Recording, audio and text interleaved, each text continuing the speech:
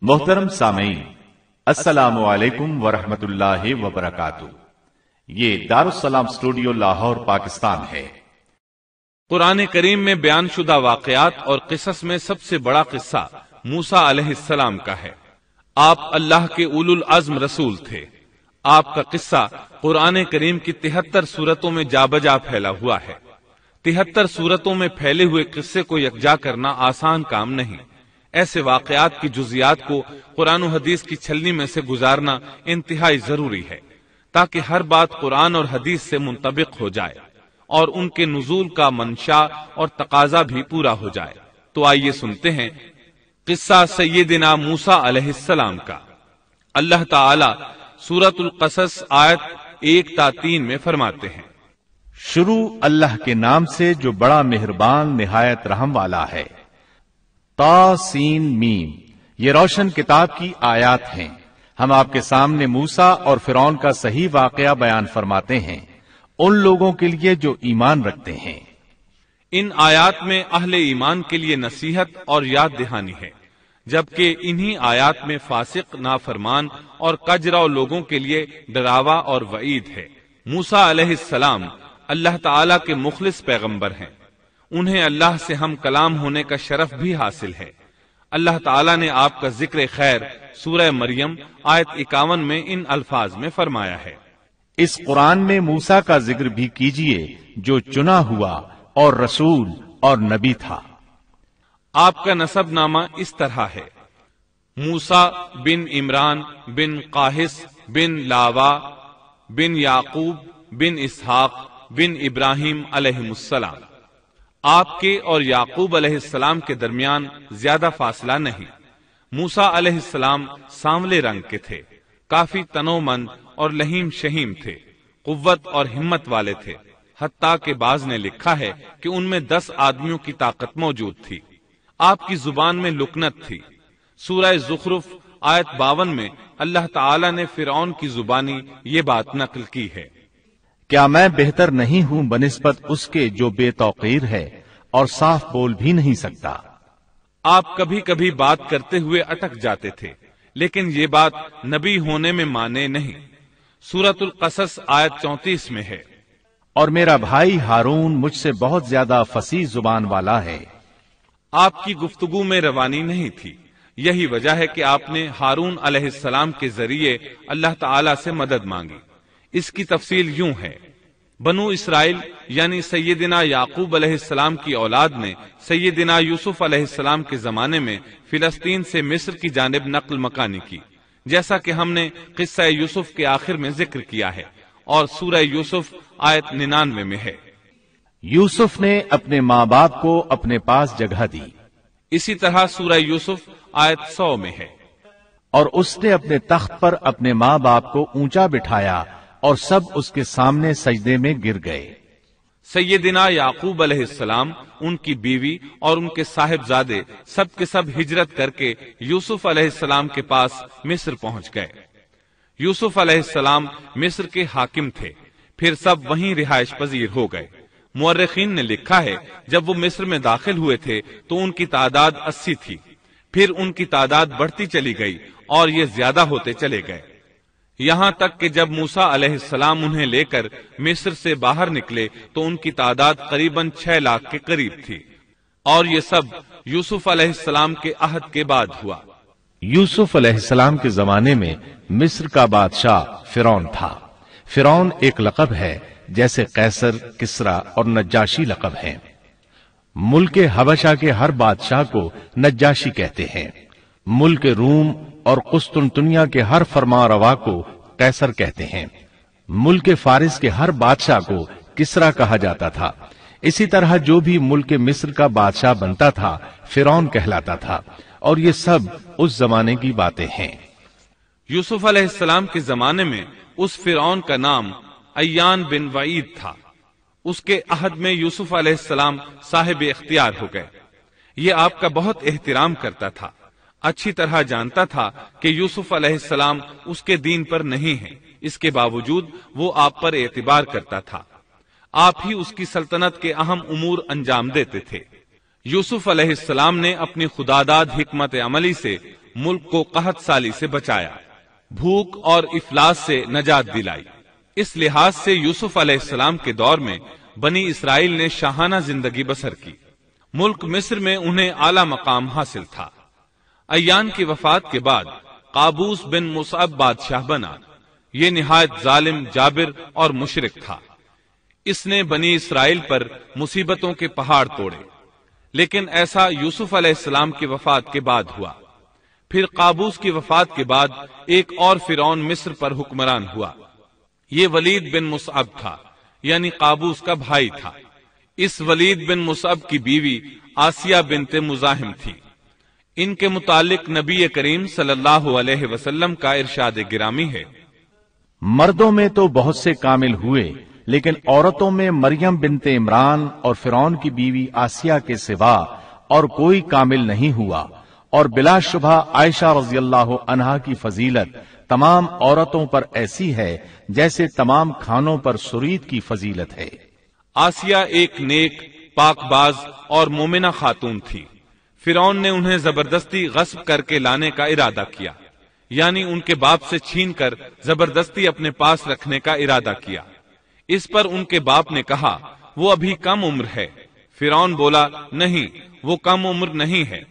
تو اس کا نکاح حق مہر کے عوض میرے ساتھ کر دے۔ اب آسیہ کا باپ ان کے پاس آیا اور فرعون کے ارادے سے انہیں باخبر کیا۔ انہوں نے کہا، میں ایک کافر سے کس طرح شادی کر سکتی ہوں؟ اس پر فرعون نے پورے خاندان کو ہلاک کرنے کی دھمکی دی۔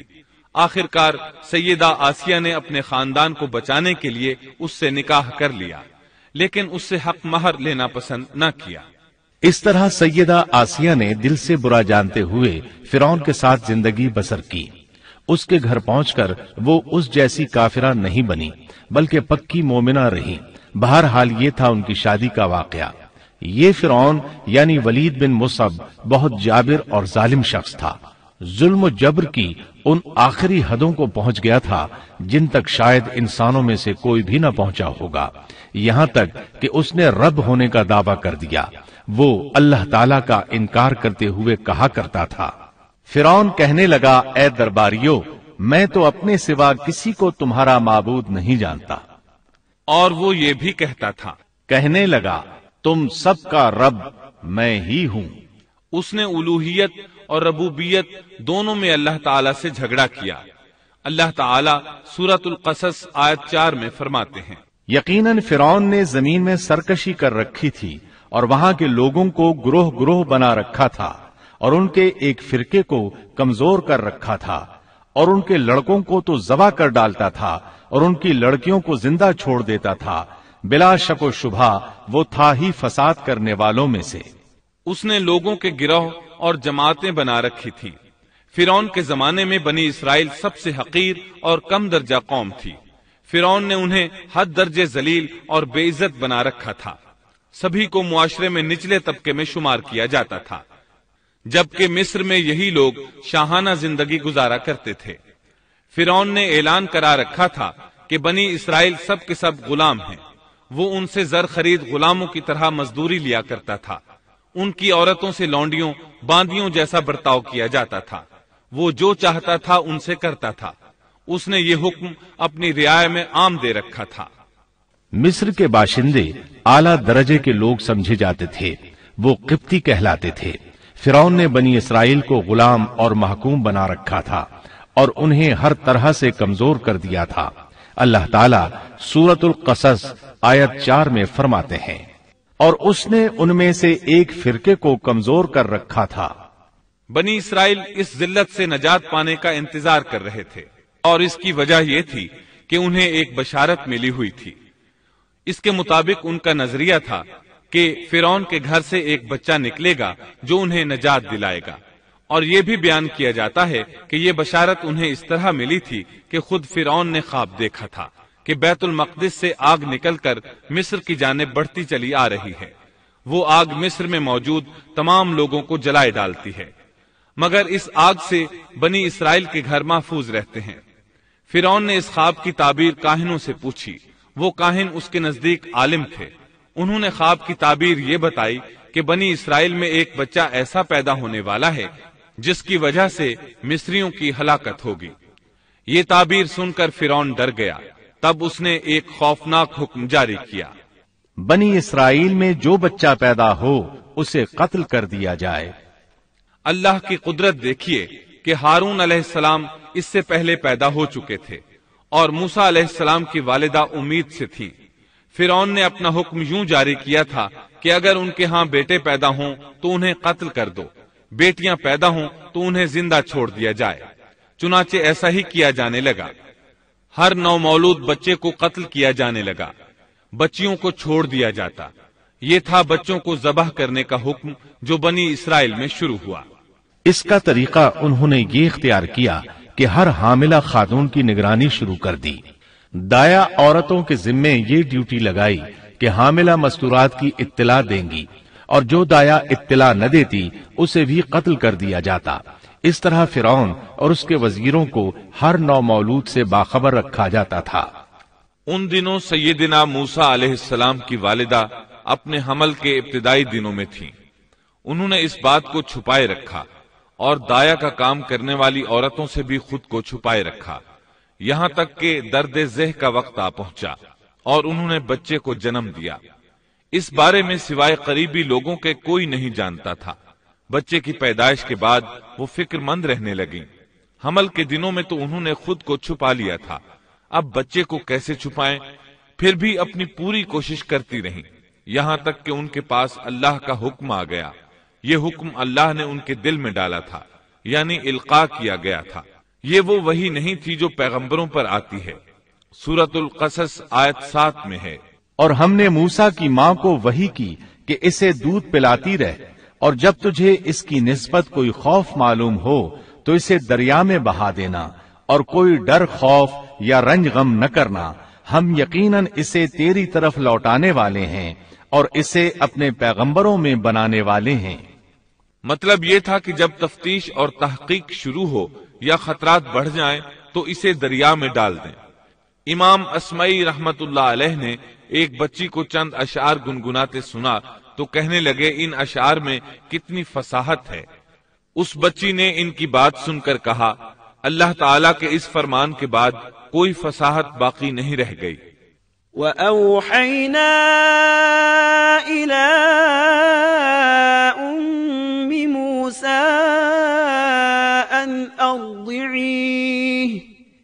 فَإِذَا خِفْتِ عَلَيْهِ فَأَلْقِيهِ فِي الْيَمِّ وَلَا تَخَافِي وَلَا تَحْزَنِي إِنَّا رَادُّوهُ إِلَيْكِ وَجَاعِلُوهُ مِنَ الْمُرْسَلِينَ.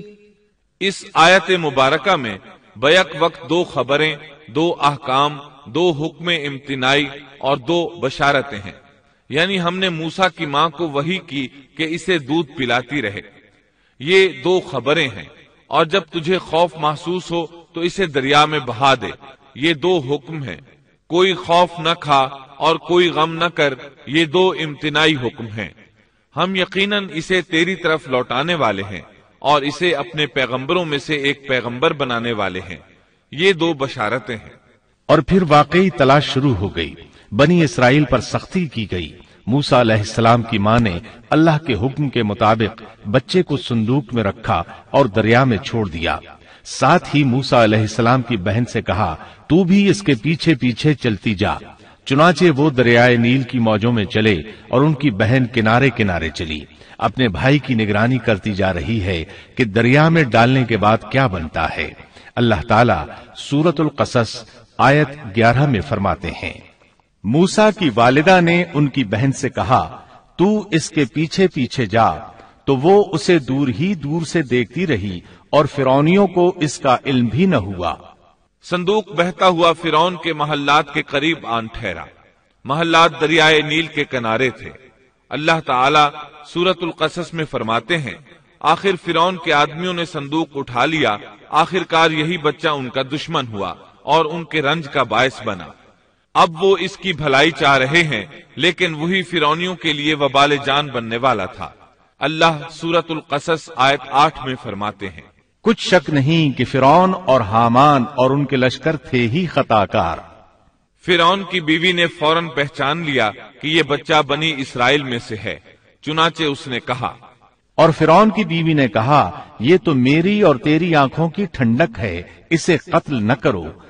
بہت ممکن ہے یہ ہمیں کوئی فائدہ پہنچائے یا ہم اسے اپنا بیٹا ہی بنا لیں، اور یہ لوگ شعور ہی نہیں رکھتے تھے۔ مطلب یہ کہ اس پورے معاملے میں اللہ تعالی کی تدبیر سے انہیں آگاہی نہیں تھی۔ اس پر فرعون نے کہا، یہ صرف تیری آنکھوں کی ٹھنڈک ہے، میری نہیں۔ میں نہیں چاہتا بنی اسرائیل کا کوئی بچہ میری نگرانی میں پلے، لہٰذا یہ صرف تیری ہی آنکھوں کی ٹھنڈک ہے۔ ابن عباس رضی اللہ عنہما فرماتے ہیں، اگر فرعون یہ بات کہہ دیتا کہ یہ میری بھی آنکھوں کی ٹھنڈک ہے، تو اللہ تعالیٰ اسے ہدایت دے دیتا۔ لیکن اس نے یوں کہا، یہ صرف تیری آنکھوں کی ٹھنڈک ہے، میری نہیں۔ اور پھر ہوا بھی یہی۔ موسا علیہ السلام آسیہ کی آنکھوں کی ٹھنڈک بن گئے، فرعون کی آنکھوں کی ٹھنڈک نہ بنے۔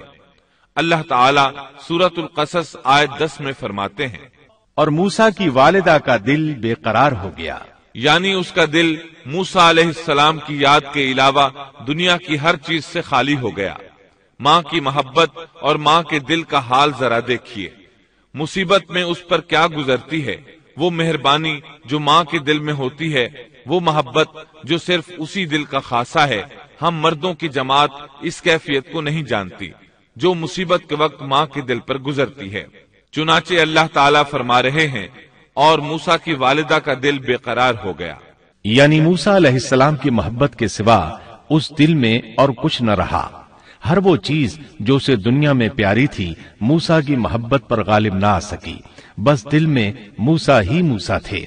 اللہ تعالیٰ سورت القصص آیت دس میں فرماتے ہیں، قریب تھیں کہ اس واقعے کو بالکل ظاہر کر دیتی اگر ہم ان کے دل کو ڈھارس نہ دے دیتے۔ یہ اس لیے کہ وہ یقین کرنے والوں میں رہے۔ اب دیکھیے اللہ تعالی کے کام۔ ان کے نور چشم کو کس طرح ان کی طرف واپس لوٹایا۔ بچہ جب محل میں پہنچا تو اس نے دودھ کے لیے رونا شروع کر دیا۔ اس کے پاس دودھ پلانے والیاں لائی گئیں لیکن بچے نے کسی عورت کا دودھ نہ پیا۔ آخر وہ بچے کو اٹھا کر باہر لائے۔ اللہ آیت بارہ میں فرماتے ہیں۔ اور ان کے پہنچنے سے پہلے ہم نے موسا پر دائیوں کا دودھ حرام کر دیا تھا۔ جو عورت بھی آپ کو دودھ پلانے کی کوشش کرتی ناکام ہو جاتی۔ اب ظاہر ہے یہ رکاوٹ تو اللہ تعالی کی طرف سے تھی۔ کوئی دودھ پلانے میں کامیاب ہو بھی کیسے سکتی تھی؟ ادھر موسا علیہ السلام کی بہن دور کھڑی یہ سب دیکھ رہی تھی۔ سورت القصص آیت بارہ میں ہے۔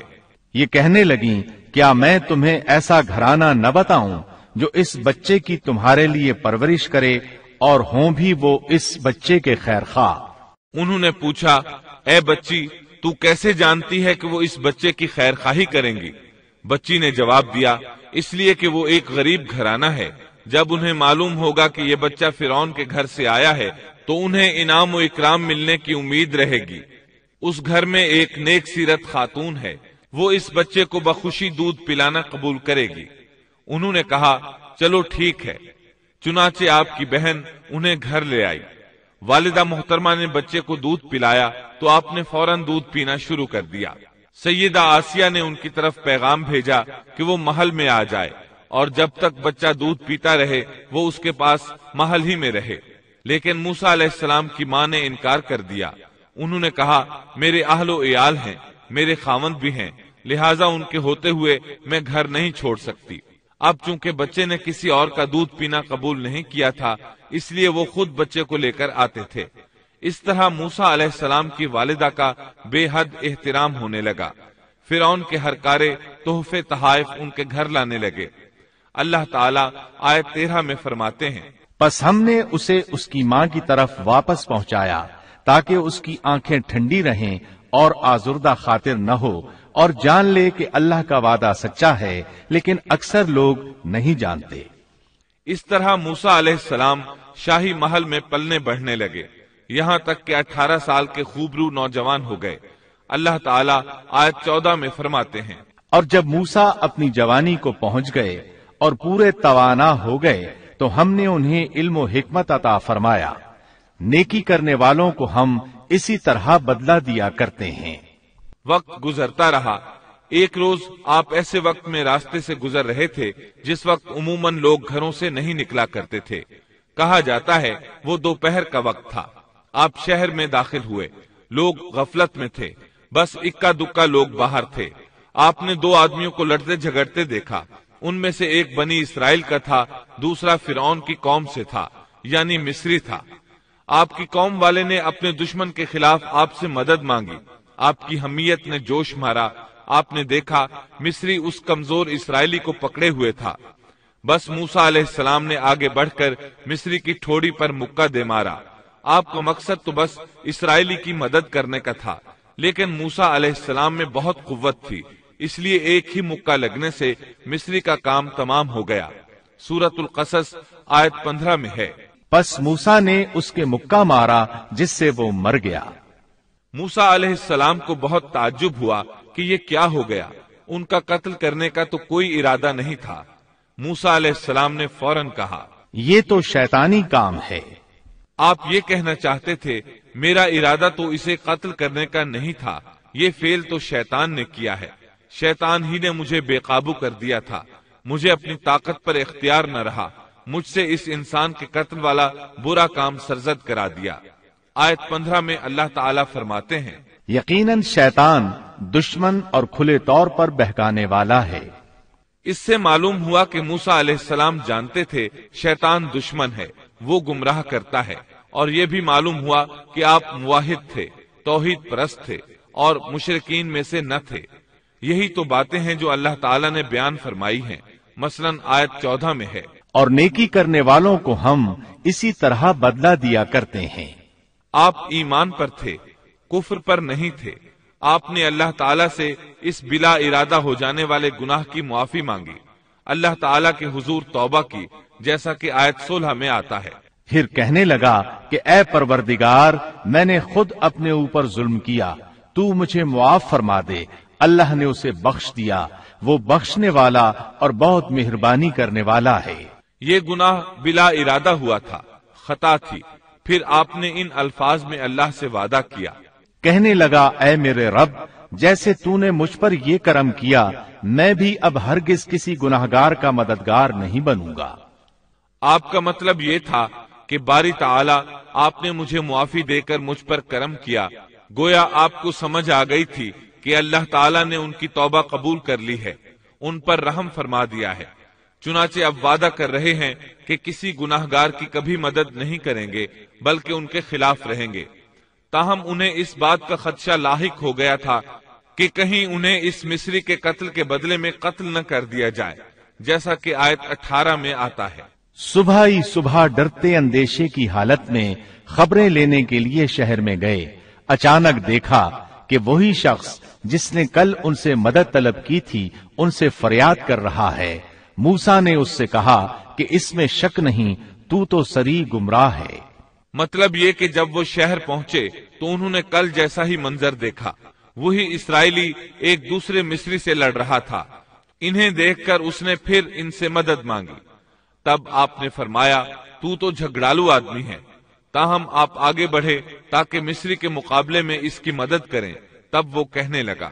وہ کہنے لگا کہ موسا کیا جس طرح تو نے کل ایک شخص کو قتل کیا ہے، مجھے بھی مار ڈالنا چاہتا ہے؟ اس کی اس بات سے موسا علیہ السلام سمجھ گئے کہ کل والی خبر شہر میں پھیل چکی ہے۔ اب انہوں نے خود کو چھپانا چاہا۔ اس وقت آپ کے پاس آل فرون میں سے ایک مومن آدمی بھاگتا ہوا آیا۔ وہ موسا علیہ السلام سے بہت محبت کرتا تھا۔ اس کا ذکر آیت بیس میں آیا ہے۔ شہر کے پرلے کنارے سے ایک شخص دوڑتا ہوا آیا اور کہنے لگا موسا یہاں کے سردار تیرے قتل کا مشورہ کر رہے ہیں، پس تو فوراً چلا جا، مجھے اپنا خیر خواہ مان اس سے پہلے کہ وہ تجھے گرفتار کر لیں، جلدی کر، یہاں سے نکل جا۔ آپ خوف زدہ ہو گئے، کیونکہ فرون تو پہلے ہی آپ سے محبت نہیں کرتا تھا۔ اس نے تو آپ کو سیدہ آسیہ کے کہنے پر محل میں رکھا تھا۔ اس کے علاوہ فرعون کی قوم کے دوسرے سردار بھی یہ بات اچھی طرح جانتے تھے کہ آپ بنی اسرائیل میں سے ہیں۔ وہ آپ سے بغض رکھتے تھے۔ اب تو ان کے ہاتھ موقع آ گیا تھا۔ اس موقع سے فائدہ اٹھاتے ہوئے انہوں نے قتل کا مشورہ کیا تھا۔ چنانچہ موسا علیہ السلام وہاں سے خوف زدہ ہو کر نکل کھڑے ہوئے۔ مصری آپ کی تلاش میں تھے۔ فرون نے اپنے جاسوس آپ کی تلاش میں بھیج دیے تھے۔ ادھر موسا علیہ السلام اللہ تعالی سے یہ دعا مانگ رہے تھے۔ اے میرے پروردگار مجھے ظالموں کے گروہ سے بچا لے۔ اللہ تعالیٰ نے آپ کی دعا قبول فرمائی آپ کو راستہ بھی دکھایا۔ آپ جنگل کی طرف نکل کھڑے ہوئے۔ آپ کے پاس کھانا تھا نہ پانی۔ نہ آپ کے پاس سواری کا جانور تھا۔ آپ کو کچھ معلوم نہیں تھا کہ کدھر جا رہے ہیں۔ بس آپ جنگل میں چلتے رہے چلتے رہے۔ آپ مصر سے فلسطین کی طرف جا رہے تھے۔ راستے میں آپ کے جوتے بھی ٹوٹ گئے۔ اب ننگے پاؤں سفر شروع ہوا۔ بھوک لگتی تو درختوں کے پتے کھا لیتے۔ اس طرح آپ مدین پہنچ گئے۔ آپ سن چکے ہیں۔ مدین اللہ کے نبی شعیب علیہ السلام کی بستی تھی۔ اس وقت شعیب علیہ السلام کافی بوڑھے ہو چکے تھے اور یہ واقعات شعیب علیہ السلام کی قوم کی تباہی کے بعد کے ہیں۔ آپ مدین کے پانی پر پہنچ گئے۔ بستی کے باہر ان لوگوں کی پانی کی جگہ تھی۔ وہیں وہ لوگ اپنے جانوروں کو پانی پلاتے تھے۔ اپنے لیے بھی وہیں سے پانی لیتے تھے۔ موسا علیہ السلام نے دیکھا کہ لوگ آ جا رہے ہیں۔ کسی کے پاس بکری ہے، کسی کے پاس اونٹ ہے۔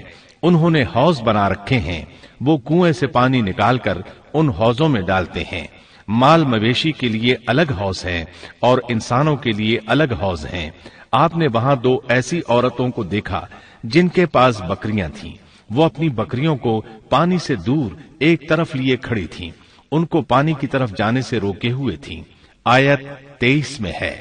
مدین کے پانی پر جب آپ پہنچے تو دیکھا کہ لوگوں کی ایک جماعت وہاں پانی پلا رہی ہے اور دو عورتیں الگ کھڑی اپنے جانوروں کو روکتی ہوئی دیکھی موسا علیہ السلام کو یہ دیکھ کر حیرت ہوئی کہ سب لوگ تو اپنے جانوروں کو پانی پلا رہے ہیں اور یہ دونوں پیچھے کھڑی ہیں۔ یہ کیا معاملہ ہے؟ قال ما خطبكما؟ پوچھا کہ تمہارا کیا حال ہے؟ یعنی تم اپنی بکریوں کو پانی کیوں نہیں پلا رہی؟ آیت تیئیس میں آتا ہے۔ وہ بولی کہ جب تک یہ چرواہے واپس نہ لوٹ جائیں ہم پانی نہیں پلاتی اور ہمارے والد بہت بڑی عمر کے بوڑھے ہیں۔ مطلب یہ کہ اتنی بھیڑ میں ہم کیسے داخل ہوں؟ یہ سن کر موسا علیہ السلام آگے بڑھے طاقت سے ان لوگوں کو پیچھے ہٹایا اور پانی نکال کر ان کی بکریوں کو پلایا۔ پھر ایک درخت کے سائے تلے جا بیٹھے اور یوں دعا کرنے لگے۔ اے پروردگار تو جو کچھ بھلائی میری طرف اتارے میں اس کا محتاج ہوں۔ سیدنا عبداللہ بن عباس رضی اللہ عنہما بیان کرتے ہیں کہ سیدنا موسا علیہ السلام ننگے پاؤں مدین پہنچے تھے۔ ان کے پیروں کی جلد اتر گئی تھی۔ پیٹ بھوک کی شدت کی وجہ سے کمر سے لگ رہا تھا۔ درختوں کے پتے کھاتے رہے تھے، اس لیے ان کے منہ سے پتوں کی بو آتی تھی۔ لہٰذا اس وقت وہ سخت حاجت مند تھے۔ بھوک شدید تھی، اذیت بھی بہت پہنچی تھی، لیکن وہ کسی سے بھی سوال کرنے کے لیے تیار نہیں تھے۔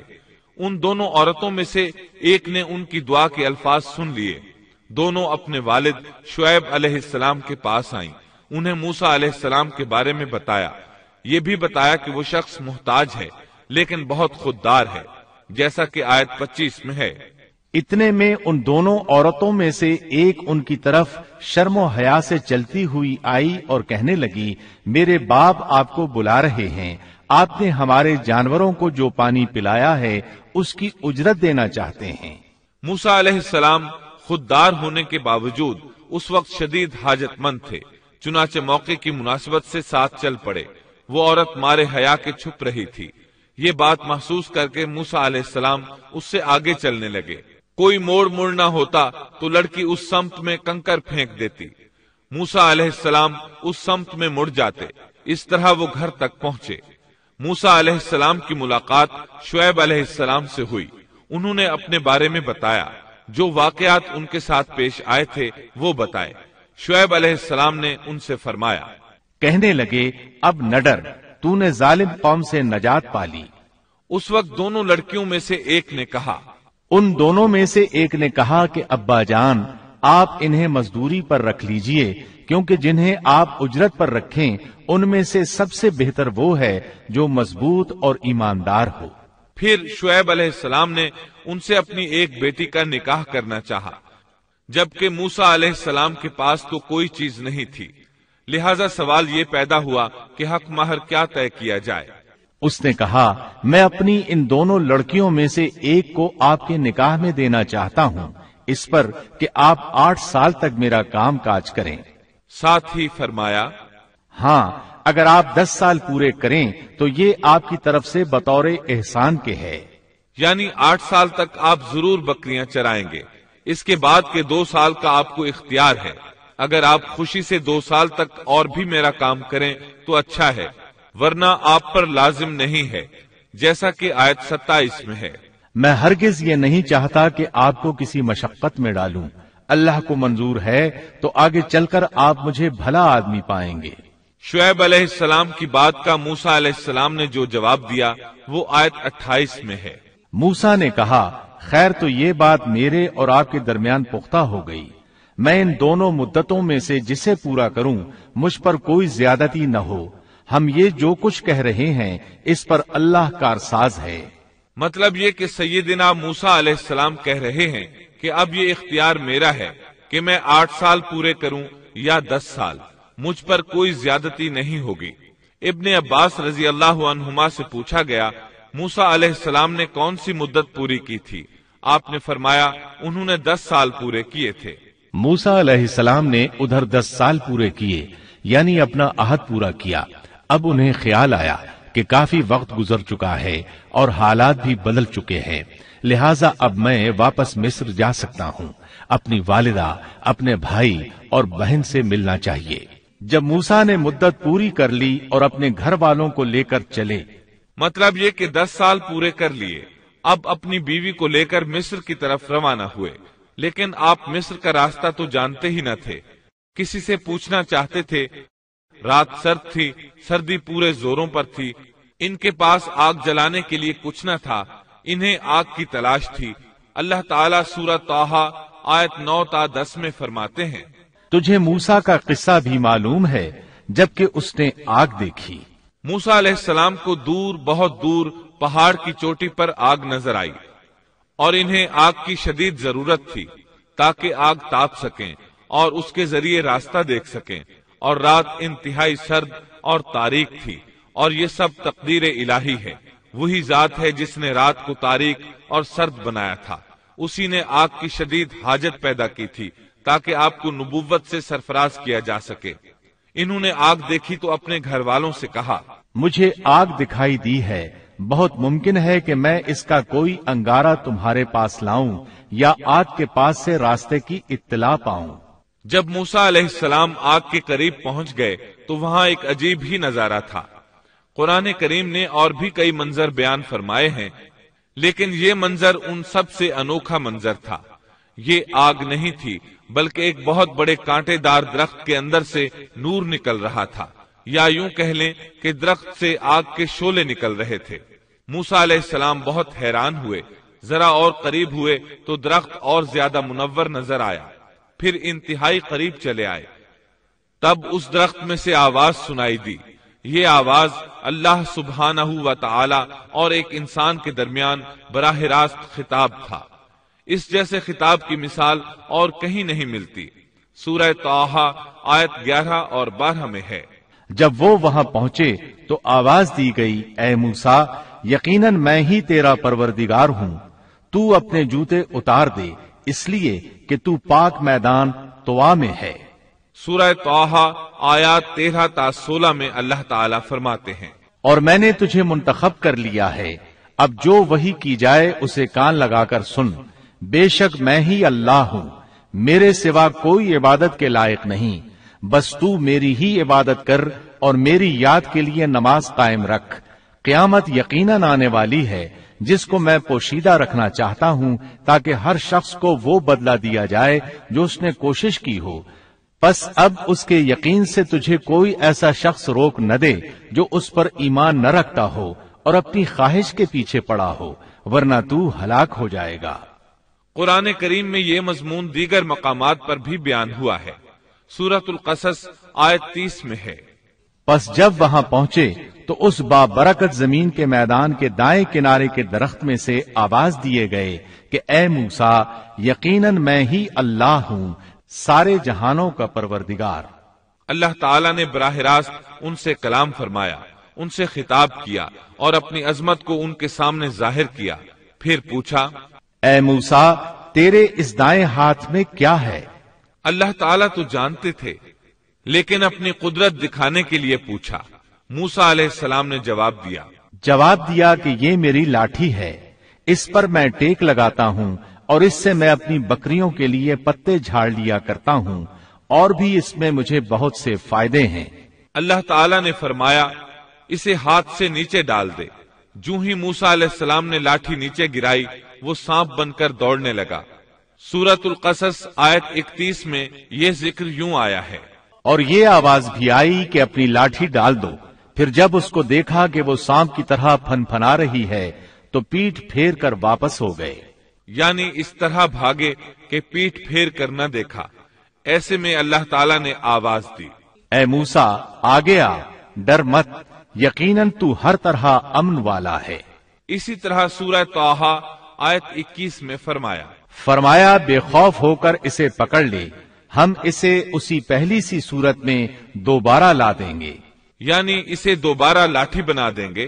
موسا علیہ السلام واپس پلٹے۔ اس کو دم سے پکڑا تو وہ پھر لاٹھی بن گئی۔ اب اللہ تعالیٰ نے فرمایا اور اپنا ہاتھ اپنی بغل میں ڈال لے۔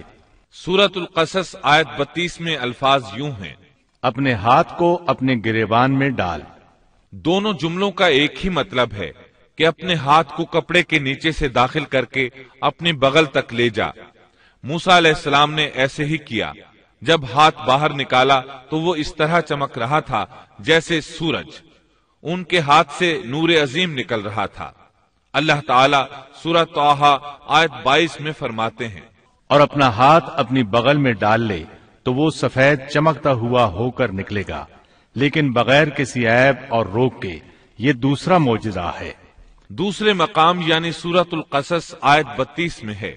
اپنے ہاتھ کو اپنے گریبان میں ڈال وہ بغیر کسی قسم کے روک کے چمکتا ہوا بالکل سفید نکلے گا۔ اور جب ہاتھ کو دوبارہ بغل میں لے جاؤ گے تو روشنی ختم ہو جائے گی۔ یعنی ایک بار ہاتھ بغل میں دو گے تو روشن ہو کر باہر نکلے گا۔ اور جب دوسری بار ہاتھ بغل میں لے جاؤ گے تو روشنی چلی جائے گی۔ اور یہ اللہ تعالی کی طرف سے موجزہ ہوگا۔ سورت القصص آیت بتیس میں ہے۔ اور خوف سے بچنے کے لیے اپنے بازو اپنی طرف ملا لے۔ یعنی جب تو خوف و خطرہ محسوس کرے تجھے کوئی دھمکی دے اور تجھے کوئی خوف محسوس ہو تو اپنا ہاتھ اپنی طرف ملا لینا۔ خوف جاتا رہے گا۔ حافظ ابن کثیر رحمت اللہ علیہ فرماتے ہیں کہ موسا علیہ السلام کی اقتدا میں جو شخص بھی گھبراہٹ کے موقع پر اپنے دل پر ہاتھ رکھے گا تو اس کے دل سے خوف جاتا رہے گا۔ یا کم از کم ہلکا ہو جائے گا انشاءاللہ۔ اللہ تعالیٰ سورت القصص آیت بتیس میں فرماتے ہیں۔ بس یہ دونوں موجزے تیرے لیے تیرے رب کی طرف سے ہیں فرعون اور اس کی قوم کی طرف۔ یقیناً وہ سب کے سب بے حکم اور نافرمان لوگ ہیں۔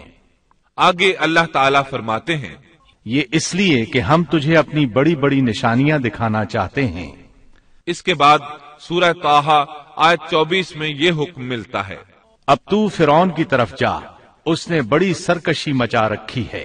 موسا علیہ السلام نے اللہ تعالیٰ سے ان الفاظ میں عرض کی۔ موسا نے کہا اے میرے پروردگار میرا سینہ میرے لیے کھول دے اور میرے کام کو مجھ پر آسان کر دے اور میری زبان کی گرہ بھی کھول دے۔ یعنی میری زبان میں لکنت ہے۔ جب تک میری زبان کی یہ حالت ہے میں انہیں کس طرح دعوت دوں گا؟ جیسا کہ سورہ تاہا آیت ستائیس اور اٹھائیس میں ہے۔ اور میری زبان کی گرہ بھی کھول دے تاکہ لوگ اچھی طرح میری بات کو سمجھ سکیں۔ حافظ ابن کثیر رحمت اللہ علیہ فرماتے ہیں کہ آپ کے بچپن کے زمانے میں آپ کے سامنے کھجور اور انگارے رکھے گئے تھے۔ آپ نے انگارا لے کر منہ میں رکھ لیا تھا، جس سے زبان میں لکنت ہو گئی۔ پھر اللہ تعالی سے دعا کی کہ میری زبان کی گرہ کھل جائے۔ موسا علیہ السلام کے اس ادب کو دیکھیے کہ صرف حاجت کے بقدر سوال کیا۔ یہ نہیں کہا کہ میری زبان بالکل صاف ہو جائے، بلکہ اتنا کہا کہ میری زبان کی گرہ کھل جائے تو لوگ میری بات سمجھ لیں۔ سورہ تاہا آیات انتیس تا چھتیس میں ہے۔ اور میرا وزیر میرے کنبے میں سے کر دے یعنی میرے بھائی ہارون کو۔ تو اس سے میری کمر کستے اور اسے میرا شریک کار کر دے، تاکہ ہم دونوں کثرت سے تیری تسبیح بیان کریں اور کثرت سے تجھے یاد کریں۔ بے شک تو ہمیں خوب دیکھنے بھالنے والا ہے۔ اللہ تعالیٰ نے فرمایا موسا تیرے تمام سوالات پورے کر دیے گئے۔ ابن ابی حاتم میں ہے، عائشہ رضی اللہ عنہا کے بھانجے عروا رحمت اللہ علیہ بیان کرتے ہیں۔ کہ عائشہ رضی اللہ عنہا عمرے کے لیے جاتے ہوئے کسی آرابی کے ہاں مقیم تھیں، کہ انہوں نے ایک شخص کو سنا جو پوچھ رہا تھا کہ دنیا میں کس بھائی نے اپنے بھائی کو سب سے زیادہ نفع پہنچایا۔ اس سوال پر تمام لوگ خاموش ہو گئے اور کہہ دیا کہ ہمیں اس کا علم نہیں۔ اچانک ایک شخص بولا کہ اللہ کی قسم، مجھے اس کا علم ہے۔ عائشہ رضی اللہ عنہا فرماتی ہیں کہ اس شخص کی بات سن کر میں نے دل میں کہا، یہ شخص کتنی بڑی جسارت کر رہا ہے کہ انشاءاللہ اللہ کہے بغیر اس نے قسم اٹھا دی۔ پھر لوگوں نے اس سے کہا کہ بتاؤ۔ اس نے کہا موسا علیہ السلام، جنہوں نے اپنی دعا سے اپنے بھائی ہارون کو نبوت دلوائی۔ عائشہ رضی اللہ عنہا فرماتی ہیں کہ میں یہ بات سن کر دنگ رہ گئی اور دل میں کہا کہ واقعی اس سے زیادہ کوئی بھائی اپنے بھائی کو فائدہ نہیں پہنچا سکتا۔ اللہ نے سچ فرمایا ہے کہ موسا علیہ السلام اللہ کے پاس بڑے آبرودار تھے۔ اس طرح موسا علیہ السلام کی سفارش سے اللہ تعالی نے ہارون علیہ السلام کو نبوت عطا فرما دی۔ اس موقع پر موسا علیہ السلام نے جو کہا سورت القصص آیت تینتیس تا پینتیس میں آتا ہے۔ موسا نے کہا، پروردگار، میں نے ان کے ایک آدمی کو قتل کیا تھا۔ اب مجھے اندیشہ ہے کہ وہ مجھے بھی قتل کر ڈالیں گے اور میرا بھائی ہارون مجھ سے بہت صاف زبان والا ہے۔ تو اسے بھی میرا مددگار بنا کر میرے ساتھ بھیج دے کہ وہ مجھے سچا مانے۔ مجھے تو خوف ہے کہ وہ سب مجھے جھٹلائیں گے۔ اللہ تعالیٰ نے فرمایا، ہم تیرے بھائی کے ساتھ تیرا بازو مضبوط کر دیں گے اور تم دونوں کو غلبہ دیں گے۔ فرون کے لوگ تم تک پہنچ ہی نہیں سکیں گے۔ ہماری نشانیوں کے سبب تم دونوں اور تمہاری فرمانبرداری کرنے والے ہی غالب رہیں گے۔ موسا علیہ السلام نے سفر طے کیا اور فرون کی طرف چلے آئے۔ پہلے اپنی ماں، بہن اور بھائی سے ملے، پھر اپنے بھائی ہارون کو ساتھ لے کر فرون کی طرف چلے۔ آپ نے دستک دی تو دربانوں نے آپ کو واپس لوٹا دیا۔ وہ صرف قوم کے سرداروں ہی کو اس کے پاس جانے دیتے تھے۔ انہوں نے موسا علیہ السلام سے کہا، واپس چلے جاؤ۔ تب موسا علیہ السلام نے فرمایا انی رسول میں تو قاصد ہوں، پیغام لے کر آیا ہوں۔ اب قاصد تو دوسرے بادشاہوں کے ہوتے تھے، انہیں تو اندر جانے دیا جاتا تھا۔ چنانچہ دربانوں نے آپ کو بھی اندر جانے دیا اور وہ آپ کو پہچان نہ سکے۔ لیکن فرعون نے انہیں پہچان لیا۔ یہ منظر قرآن کی بہت سی آیات میں بیان ہوا ہے۔ سورت الشعراء آیت پندرہ میں ہے۔ اللہ نے فرمایا، ہرگز ایسا نہ ہوگا۔ تم دونوں ہماری نشانیاں لے کر جاؤ ہم خود سننے والے تمہارے ساتھ ہیں۔ فرعون نے موسا علیہ السلام کو پہچان دیا۔ کہنے لگا تو موسا ہے۔ جواب ملا ہاں۔ فرعون نے جو کچھ کہا سورت الشعراء آیت اٹھارہ تا بائیس میں ہے۔ فرعون نے کہا کیا ہم نے تجھے تیرے بچپن کے زمانے میں اپنے ہاں نہیں پالا تھا؟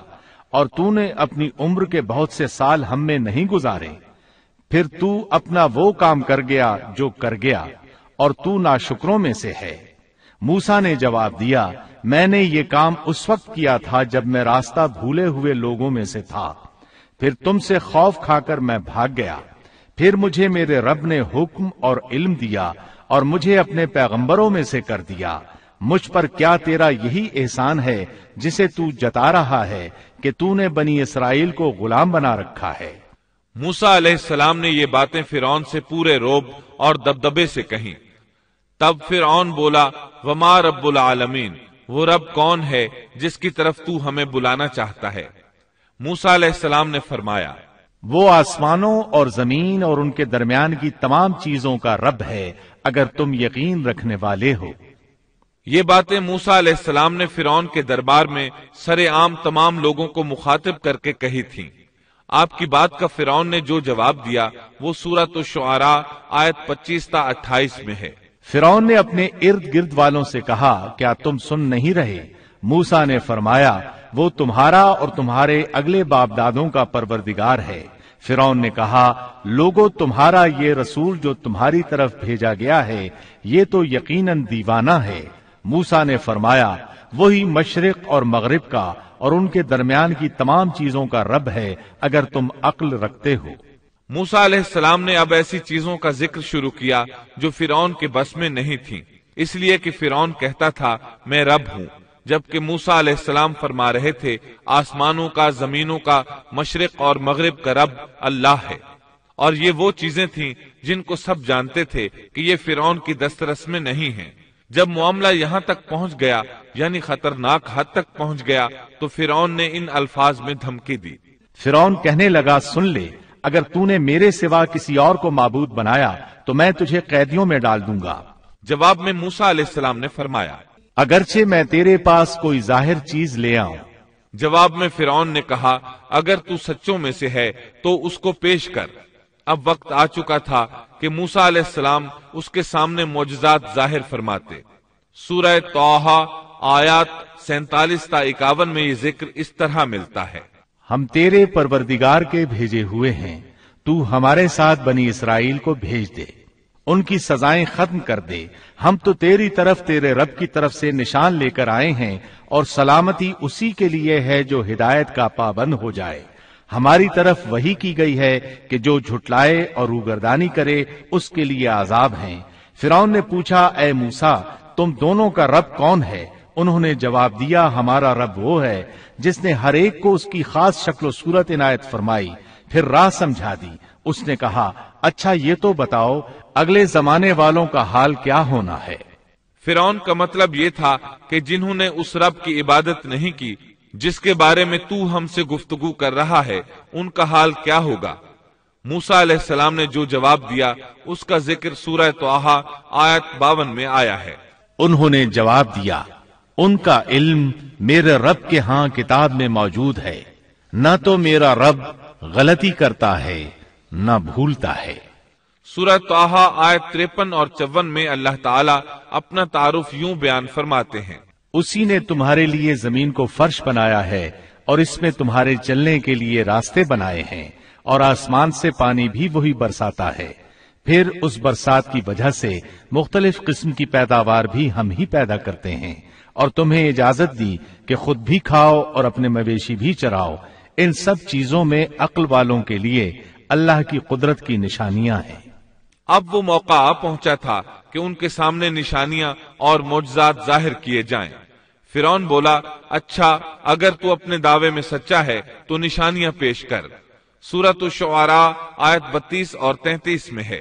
موسا نے اسی وقت اپنی لاٹھی ڈال دی جو اچانک کھلم کھلا اجدہا بن گئی اور اپنا ہاتھ بغل میں دے کر نکالا تو وہ اچانک دیکھنے والوں کے لیے چمکنے لگا۔ مطلب یہ کہ موسا علیہ السلام نے دو عظیم معجزات ظاہر کیے۔ ان کو دیکھتے ہی فرون اور اس کے درباری سب حیرت زدہ رہ گئے۔ انہوں نے دانتوں تلے انگلیاں دبا لی۔ لیکن فرون نے فوراً پینترا بدلا۔ وہ ڈر گیا تھا کہ کہیں اس کا کوئی درباری اسلام نہ قبول کر لے۔ چنانچہ فوراً بول اٹھا۔ کہنے لگا اے موسا تم ہمارے پاس اس لیے آئے ہو کہ ہمیں ہمارے ملک سے اپنے جادو کے زور سے نکال دو۔ یعنی تو نے جادوگروں والا کرتب دکھایا ہے۔ ہم اچھی طرح جانتے ہیں کہ یہ جادو کی سرزمین ہے۔ یہاں بڑے بڑے جادوگر رہتے ہیں۔ لیکن یہ جادو عجیب سا ہے۔ کیا تیرا ارادہ یہ ہے کہ تو اپنے جادو کے زور سے ہمیں مروب کر کے بنی اسرائیل کو لے جائے لیکن ہم مروب ہونے کی بجائے تیرا مقابلہ کریں گے۔ سو ہم بھی تمہارے مقابلے میں ایسا ہی جادو لائیں گے۔ تو ہمارے اور اپنے درمیان ایک وعدے کا وقت مقرر کر لے۔ نہ ہم اس کی خلاف ورزی کریں اور نہ تم کرو۔ کسی ہموار میدان میں مقابلہ ہو۔ موسا علیہ السلام تو اسی موقع کی تلاش میں تھے۔ تاکہ سب لوگوں کو دعوت دے سکیں۔ موسا علیہ السلام نے اسی وقت کہا۔ موسا نے جواب دیا کہ زینت اور جشن کے دن کا وعدہ ہے اور یہ کہ لوگ دن چڑھے ہی جمع ہو جائیں۔ مطلب یہ تھا کہ چاشت کے وقت لوگوں کو جمع ہونے کے لیے کہا جائے۔ فرعون نے چالیس جادوگر بلائے۔ اپنی مرضی سے ان کا انتخاب کیا۔ وہ سب کے سب نوجوان تھے۔ انہوں نے بڑے بڑے جادوگروں سے بچپن ہی سے جادو کا فن سیکھنا شروع کر دیا تھا۔ اپنے بچپن سے لے کر جوانی تک وہ جادو ہی سیکھتے رہے تھے۔ غرض سب کے سب یعنی چالیس جادوگر جمع ہو گئے۔ پھر میدان میں آئے۔ موسا علیہ السلام نے انہیں جن الفاظ میں ڈرایا، وہ سورہ توحا آیت اکسٹھ میں آئے ہیں۔ موسا نے ان سے کہا، تمہاری شامت آ چکی ہے۔ اللہ تعالیٰ پر جھوٹ اور افطرا نہ باندھو۔ کہیں اللہ تمہیں کسی قسم کی سزا سے نیز تو نابود نہ کر دے۔ اور جو جھوٹ باندھتا ہے وہ بلاخر ناکام ہی رہتا ہے۔ جادوگروں نے یہ سن کر چہمے گوئیاں شروع کر دیں۔ ان کو لوگ تو سن رہے تھے لیکن فرعون نہیں سن رہا تھا۔ سورہ توحا آیت باسٹھ میں ہے۔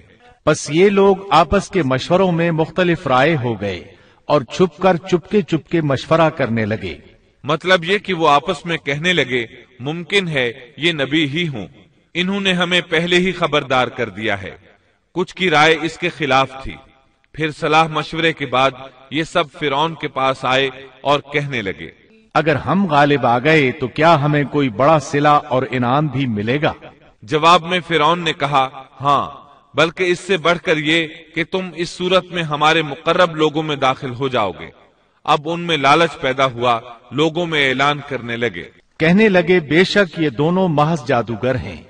ان کا پختہ ارادہ ہے کہ یہ اپنے جادو کے زور سے تمہیں تمہاری سرزمین سے نکال باہر کریں اور تمہارے عمدہ مذہبی طریقے کو ختم ہی کر دیں۔ پھر آپس میں باتیں کرتے ہوئے یوں کہنے لگے کہ اختلاف نہ کرو، سب مل کر اپنی تدبیر آزماؤ اور صف بنا کر مقابلے میں آؤ۔ چنانچہ چالیس کے چالیس جادوگر ایک ہی صف بنا کر فخر اور غرور سے چلتے ہوئے موسا علیہ السلام کی طرف بڑھنے لگے۔ ادھر موسا علیہ السلام آگے بڑھے۔ بس ہارون علیہ السلام آپ کے پیچھے تھے۔ لوگوں کی حالت دیکھنے کے قابل تھی۔ ان کی زبان پر یہ الفاظ تھے۔ جو آج غالب آ گیا وہی کامیاب ہے۔ جادوگر پھر کہنے لگے۔ کہنے لگے اے موسا یا تو تو پہلے ڈال یا ہم پہلے ڈالنے والے بن جائیں۔ اللہ سبحانہ و تعالی نے موسا علیہ السلام کی طرف وہی کی کہ پہلے انہیں ڈالنے دے۔ جواب دیا کہ نہیں تم ہی پہلے ڈالو۔ ان جادوگروں کے پاس لاٹیاں اور رسیاں تھیں۔ انہوں نے وہ میدان میں ڈال دی۔ دیکھتے ہی دیکھتے وہ لکڑیاں اور رسیاں حرکت کرنے لگی عجیب و غریب شکل و صورت میں بڑی تیزی سے ادھر ادھر آنے جانے لگی سورہ توحا آیت چھیاسٹھ میں اللہ تعالیٰ فرماتے ہیں۔ اب تو موسا کو یہ خیال گزرنے لگا کہ ان کی رسیاں اور لکڑیاں ان کے جادو کے زور سے دوڑ بھاگ رہی ہیں۔ سورت العراف، آیت 116 میں اس واقعے کو اللہ تعالیٰ نے یوں بیان کیا ہے۔ جب انہوں نے ڈالا تو لوگوں کی آنکھوں پر جادو کر دیا اور ان کو دہشت زدہ کر دیا اور ایک طرح کا بہت بڑا جادو بنا لائے۔ جادو کے کرتب سے لوگوں کی آنکھوں پر جادو کر دیا۔ بس سب کو یوں دکھائی دیتا تھا کہ یہ سب سانپ ہیں۔ سب لوگ خوف زدہ سے ہو گئے۔ موسا علیہ السلام نے بھی کچھ خوف سا محسوس کیا۔ کہ یہ کیسا جادو ہے۔ اسی وقت اللہ تعالیٰ نے موسا علیہ السلام کو تسلی دی اور فرمایا، ہم نے کہا، کچھ خوف نہ کر، یقیناً تو ہی غالب اور برتر رہے گا۔ تیرے دائیں ہاتھ میں جو ہے، وہ ڈال دے۔ سیدنا ہارون علیہ السلام نے آپ کو لاٹھی پکڑائی۔ آپ نے اس کو میدان میں ڈال دیا۔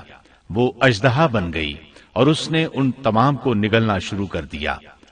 اللہ تعالی سورہ تاہا آیت انہتر میں فرماتے ہیں، اور تیرے دائیں ہاتھ میں جو ہے، اس کو ڈال دے تاکہ یہ ان کی تمام کاریگری کو نگل جائے۔ انہوں نے جو کچھ بنایا ہے، یہ صرف جادوگری کے کرتب ہیں، اور جادوگر کہیں سے بھی آئے، کامیاب نہیں ہوتا۔ جادوگروں نے پورے مجمے پر جادو کر رکھا تھا۔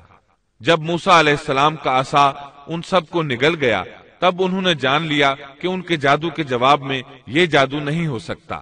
یہ تو اللہ تبارک و تعالی کی طرف سے موجزہ ہی لگتا ہے۔ اللہ تعالی سورہ تاہا آیت ستر میں فرماتے ہیں۔ جادوگر سجدے میں گر گئے اور کہنے لگے ہم تو ہارون اور موسا کے رب پر ایمان لے آئے۔ انہیں یقین ہو گیا تھا کہ یہ جادو نہیں ہے بلکہ یہ اللہ کا معجزہ ہے۔ ان کے الفاظ سن کر فرعون غزب ناک ہو گیا آگ بگولا ہو گیا۔ اس لیے کہ چالیس کے چالیس جادوگر سجدے میں گر گئے تھے۔ وہ بولا میری اجازت سے پہلے ہی تم اس پر ایمان لے آئے۔ یعنی تم نے مجھ سے پوچھا تک نہیں مشورہ نہیں کیا اور اس پر ایمان لے آئے۔ بے شک یہی تمہارا وہ بڑا بزرگ ہے جس نے تمہیں جادو سکھایا ہے۔ مطلب یہ کہ یہ تمہارا استاد ہے اور تمہارا یہ پہلے سے طے شدہ پروگرام تھا چنانچہ وہ کہنے لگا بے شک یہ ایک سازش تھی جس پر تم نے اس شہر میں عمل کیا تاکہ تم سب اس شہر سے یہاں کے رہنے والوں کو باہر نکال دو۔ اب وہ انہیں دھمکیاں دینے پر اتر آیا جیسا کہ سورہ توحا آیت اکہتر میں ہے۔ سن لو میں تم سب کے ہاتھ اور پاؤں مخالف سمتوں میں کٹوا کر تم سب کو کھجوروں کے تنوں پر لٹکوا دوں گا اور تمہیں معلوم ہو جائے گا کہ ہم دونوں میں سے کس کا عذاب زیادہ سخت اور دیر پا ہے۔ اس پر جادوگروں نے جو جواب دیا وہ سورہ توحا آیت بہتر میں آیا ہے۔ ان لوگوں نے جواب دیا کہ ہم ان دلائل اور اس ذات کے مقابلے میں تجھے کبھی ترجیح نہیں دیں گے جس نے ہمیں پیدا کیا ہے۔ تجھے جو کرنا ہے دل کھول کر کر ڈال۔ تو سوائے اس کے کہ اس دنیاوی زندگی میں کچھ کر لے اور کر بھی کیا سکتا ہے۔ فرعون نے فوراً ان جادوگروں کو مذکورہ سزا دلوائی اور جادوگر یہ کہتے ہوئے چلے۔ اب ہم اپنے پروردگار پر ایمان لا چکے تاکہ وہ ہمارے پچھلے گناہ معاف کر دے اور تو نے جو جادو کے سلسلے میں ہم پر زور ڈالا، اس کو بھی معاف کر دے۔ اور اللہ تعالی ہی بہتر اور سدا باقی رہنے والا ہے۔ سیدنا عبداللہ بن عباس رضی اللہ عنہما فرماتے ہیں کہ ان جادوگروں کے علاوہ اس قوم سے تین ہی افراد ایمان لائے تھے۔ ایک آسیا دوسرا وہ دوڑ کر آنے والا آدمی اور تیسرا وہ آدمی جو آل فرعون میں سے تھا اور اپنے ایمان کو چھپائے ہوئے تھا۔ باقی سب کے سب کفر پر ہی ڈٹے رہے۔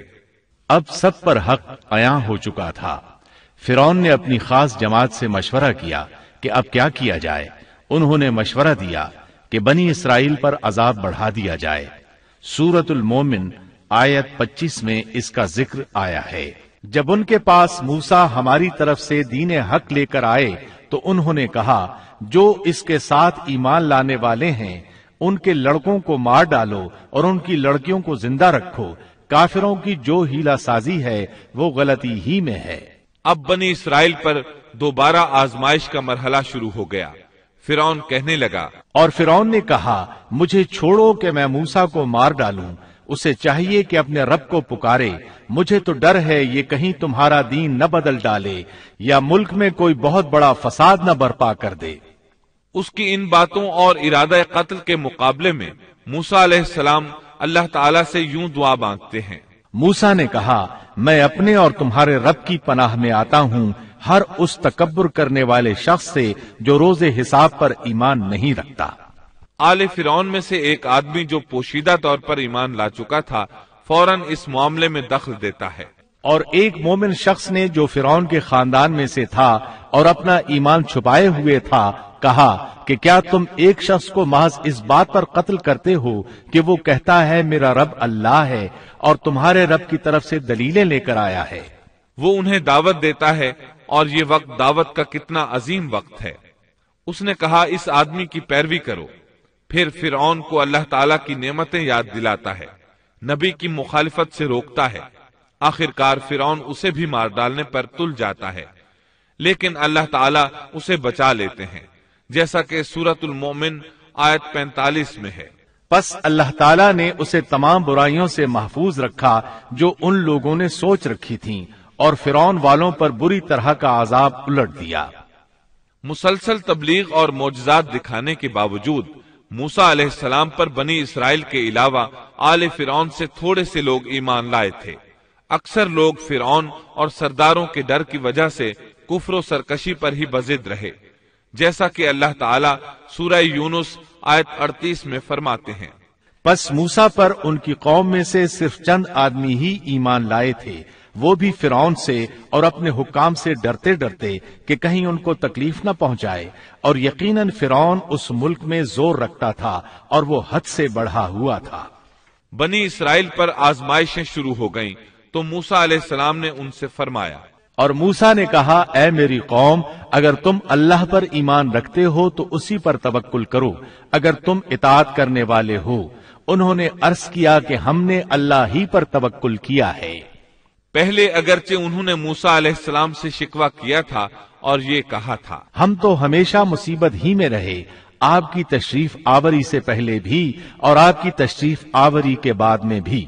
مطلب یہ تھا کہ آپ کی پیدائش سے پہلے بھی فرون نے ہمارے لڑکے ذبح کیے اور آپ کے دعوی نبوت کے بعد بھی یہی حال ہے۔ البتہ بعد میں انہوں نے اپنے اس جواب سے رجوع کر لیا معافی مانگی اور یوں کہا۔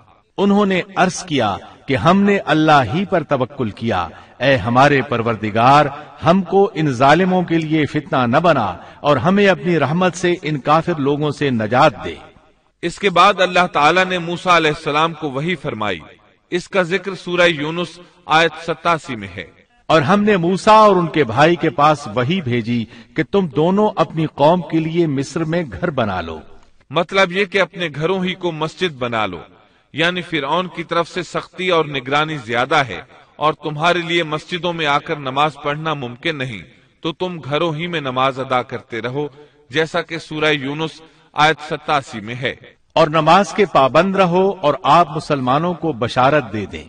اسی موقع پر موسا علیہ السلام نے ایک دعا فرمائی۔ اور موسا نے عرض کیا اے ہمارے رب تو نے فرعون کو اور اس کے سرداروں کو سامان زینت اور طرح طرح کے مال دنیاوی زندگی میں دیے۔ اے ہمارے رب، اسی واسطے دیے ہیں کہ وہ تیری راہ سے گمراہ کریں۔ اے ہمارے رب، ان کے مالوں کو نیست و نابود کر دے اور ان کے دلوں کو سخت کر دے سو یہ ایمان نہ لانے پائیں۔ یہاں تک کہ درناک عذاب کو دیکھ لیں۔ مورخین کہتے ہیں، فرعون کی قوم کے بڑے بڑے سرداروں کے مال حتیٰ کہ ان کے کھانے کی چیزیں پتھر اور مٹی کے ڈھیلے بن گئے۔ یہاں تک کہ انڈے اور دال بھی۔ اور یہ اس بات کا نتیجہ تھا کہ اللہ تعالی نے موسا اور ہارون علیہ السلام کی دعا کو قبول فرما لیا ہے۔ جیسا کہ اللہ تعالی سورہ یونس آیت نواسی میں فرماتے ہیں۔ حق تعالی نے فرمایا کہ تم دونوں کی دعا قبول کر لی گئی، سو تم ثابت قدم رہو اور ان لوگوں کی راہ نہ چلنا جن کو علم نہیں۔ اس کے بعد بنی اسرائیل پر بلائیں اور آزمائشیں سخت ہو گئیں۔ سورت العراف آیت ایک سو انتیس میں ہے۔ قوم کے لوگ کہنے لگے، ہم تو ہمیشہ مصیبت ہی میں رہے۔ آپ کی تشریف آوری سے پہلے بھی اور آپ کی تشریف آوری کے بعد بھی۔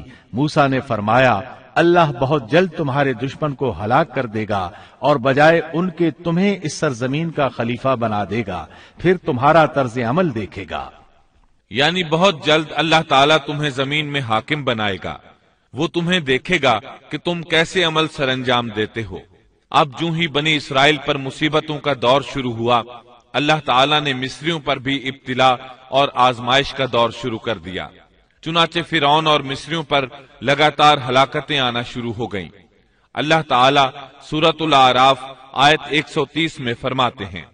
اور ہم نے فرعون والوں کو قحط سالی اور پھلوں کی کمی میں مبتلا کر دیا۔ اللہ تعالیٰ کا قہر شروع ہوا۔ آسمان سے بارش برسنا بند ہو گئی۔ دریائے نیل خشک ہو گیا۔ ان کی بھوک شدید ہو گئی۔ فرون سمجھ گیا، یہ موسا کی وجہ سے ہے۔ کہنے لگا، اے موسا اگر تو اپنے رب سے دعا کر کے یہ کیفیت ختم کرا دے، تو ہم بھی بنی اسرائیل پر جفائیں ختم کر دیں گے۔ موسا علیہ السلام نے فرمایا، ٹھیک ہے۔ چنانچہ آپ نے اللہ تعالی سے دعا فرمائی۔ دریائے نیل جاری ہو گیا۔ باران رحمت کا نزول ہوا، لیکن فرعون باز نہ آیا۔ اس نے بنی اسرائیل کو دوبارہ تنگ کرنا شروع کر دیا۔ اس کے جواب میں اللہ نے بھی فوراً دوسرا عذاب بھیج دیا۔ پھلوں کی پیداوار کم کر دی۔ وہ بڑے بڑے درخت جو پھلوں سے لدے رہتے تھے، اب ان پر ایک آدھ دانا لگتا۔ کھجوروں کے درختوں پر بس ایک آدھ کھجور لگتی۔ انگوروں کی بیلوں پر بھی ایک آدھ انگور نظر آتا۔ اب فرون نے پھر کہا، اے موسا اپنے پروردگار سے دعا کر، وہ ہم سے اس آزمائش کو ہٹا لے، تو میں بنی اسرائیل کو جانے دوں گا۔ چنانچہ موسا علیہ السلام نے دعا فرمائی، پھر پھل لگنے شروع ہو گئے۔ مصر میں خیر و برکت کا دور دورہ شروع ہو گیا، لیکن فرعون نے بنی اسرائیل کو پھر بھی نہ چھوڑا۔ الٹا انہیں منحوس قرار دیا اور کہا کہ ہماری تکالیف و مصائب کے صرف تم ذمہ دار ہو۔ اللہ تعالیٰ اس بارے میں سورت العراف آیت 131 میں فرماتے ہیں۔ سو جب ان پر خوشحالی آ جاتی تو کہتے کہ یہ تو ہمارے لیے ہونا ہی چاہیے۔ اور اگر انہیں کوئی بدحالی پیش آ جاتی تو موسا اور ان کے ساتھیوں کی نحوست بتلاتے۔ یاد رکھو کہ ان کی نحوست اللہ کے پاس ہے، لیکن ان کے اکثر لوگ نہیں جانتے۔ مطلب یہ کہ یہ سب کچھ تو تمہارے کفر کی وجہ سے ہے۔ اس کے بعد مزید نشانیاں ظاہر ہونے لگیں۔ اللہ سبحانہ و تعالی سورت العراف آیت 133 میں فرماتے ہیں۔ پھر ہم نے ان پر طوفان بھیجا اور ٹڈیاں اور جوئیں اور مینڈک اور خون کہ یہ سب کھلے کھلے موجزے تھے۔ یہ کل نو موجزے تھے۔ ان میں سے پہلا موجزہ لاٹھی کا اشدہا بن جانا دوسرا موجزہ ہاتھ کا روشن ہو جانا تیسرا معجزہ قحط سالی، چوتھا معجزہ پھلوں میں کمی، اور باقی پانچ معجزات کا ذکر اسی آیت مبارکہ میں آیا ہے۔ طوفان، ٹڈیاں، جوئیں، مینڈک اور خون۔ ان پانچ میں سے پہلا معجزہ ہے طوفان۔ دریائے نیل میں ایسی تغیانی آئی کہ پانی مصر میں داخل ہو گیا۔ بنی اسرائیل کے گھروں کے سوا سب کچھ غرق ہونے لگا۔ سیلابی ریلا کسی اسرائیلی کے گھر کے قریب آتا تو رک جاتا۔ کسی مصری کے گھر کے قریب آتا تو اس میں داخل ہو جاتا۔ وہ اپنی آنکھوں سے اپنی ہلاکتوں اور غرقابی کو دیکھ رہے تھے۔ آخر موسا علیہ السلام سے فریادیں کرنے لگے۔ اے موسا اس بلا کو بھی رکوا دو۔ اپنے پروردگار سے دعا کرو۔ یہ بلا روک دے۔ چنانچہ آپ نے دعا فرمائی۔ یہ عذاب ختم ہو گیا۔ فرعون اور مصری بہت خوش ہوئے۔ اس کے بعد ٹڈیوں کا معجزہ شروع ہوا۔ مصریوں کے کھیتوں میں ٹڈی دل فوج آتی، ان کو چٹ کر جاتی، لیکن بنی اسرائیل کے کھیتوں کو کچھ نہ کہتی۔ پھر اسی طرح دعا کرنے سے یہ بلا ختم ہوئی۔ پھر گھن کا کیڑا شروع ہوا۔ گھن کا کیڑا یعنی سرسری، یا سر کے بالوں سے نکلنے والی جوئیں۔ مشہور بات یہی ہے کہ وہ جوئیں تھیں۔ وہ ان کے سروں سے نکلتی تھیں ان کے جسموں میں جوؤں کی بھرمار ہونے لگی۔ جو ہی کوئی مصری کسی کے قریب ہوتا، اس پر جوئیں گرنے لگتی کوئی سونے کے ارادے سے اپنے بستر کے قریب آتا، تو اس پر جوئیں ہی جوئیں ہوتی ان پر یہ آزمائش بھی بہت شدید ہو گئی۔ لیکن بنی اسرائیل اس سے محفوظ رہے۔ اس کے بعد مینڈک والا معجزہ شروع ہوا۔ مصریوں کو مینڈک ہی مینڈک نظر آنے لگے۔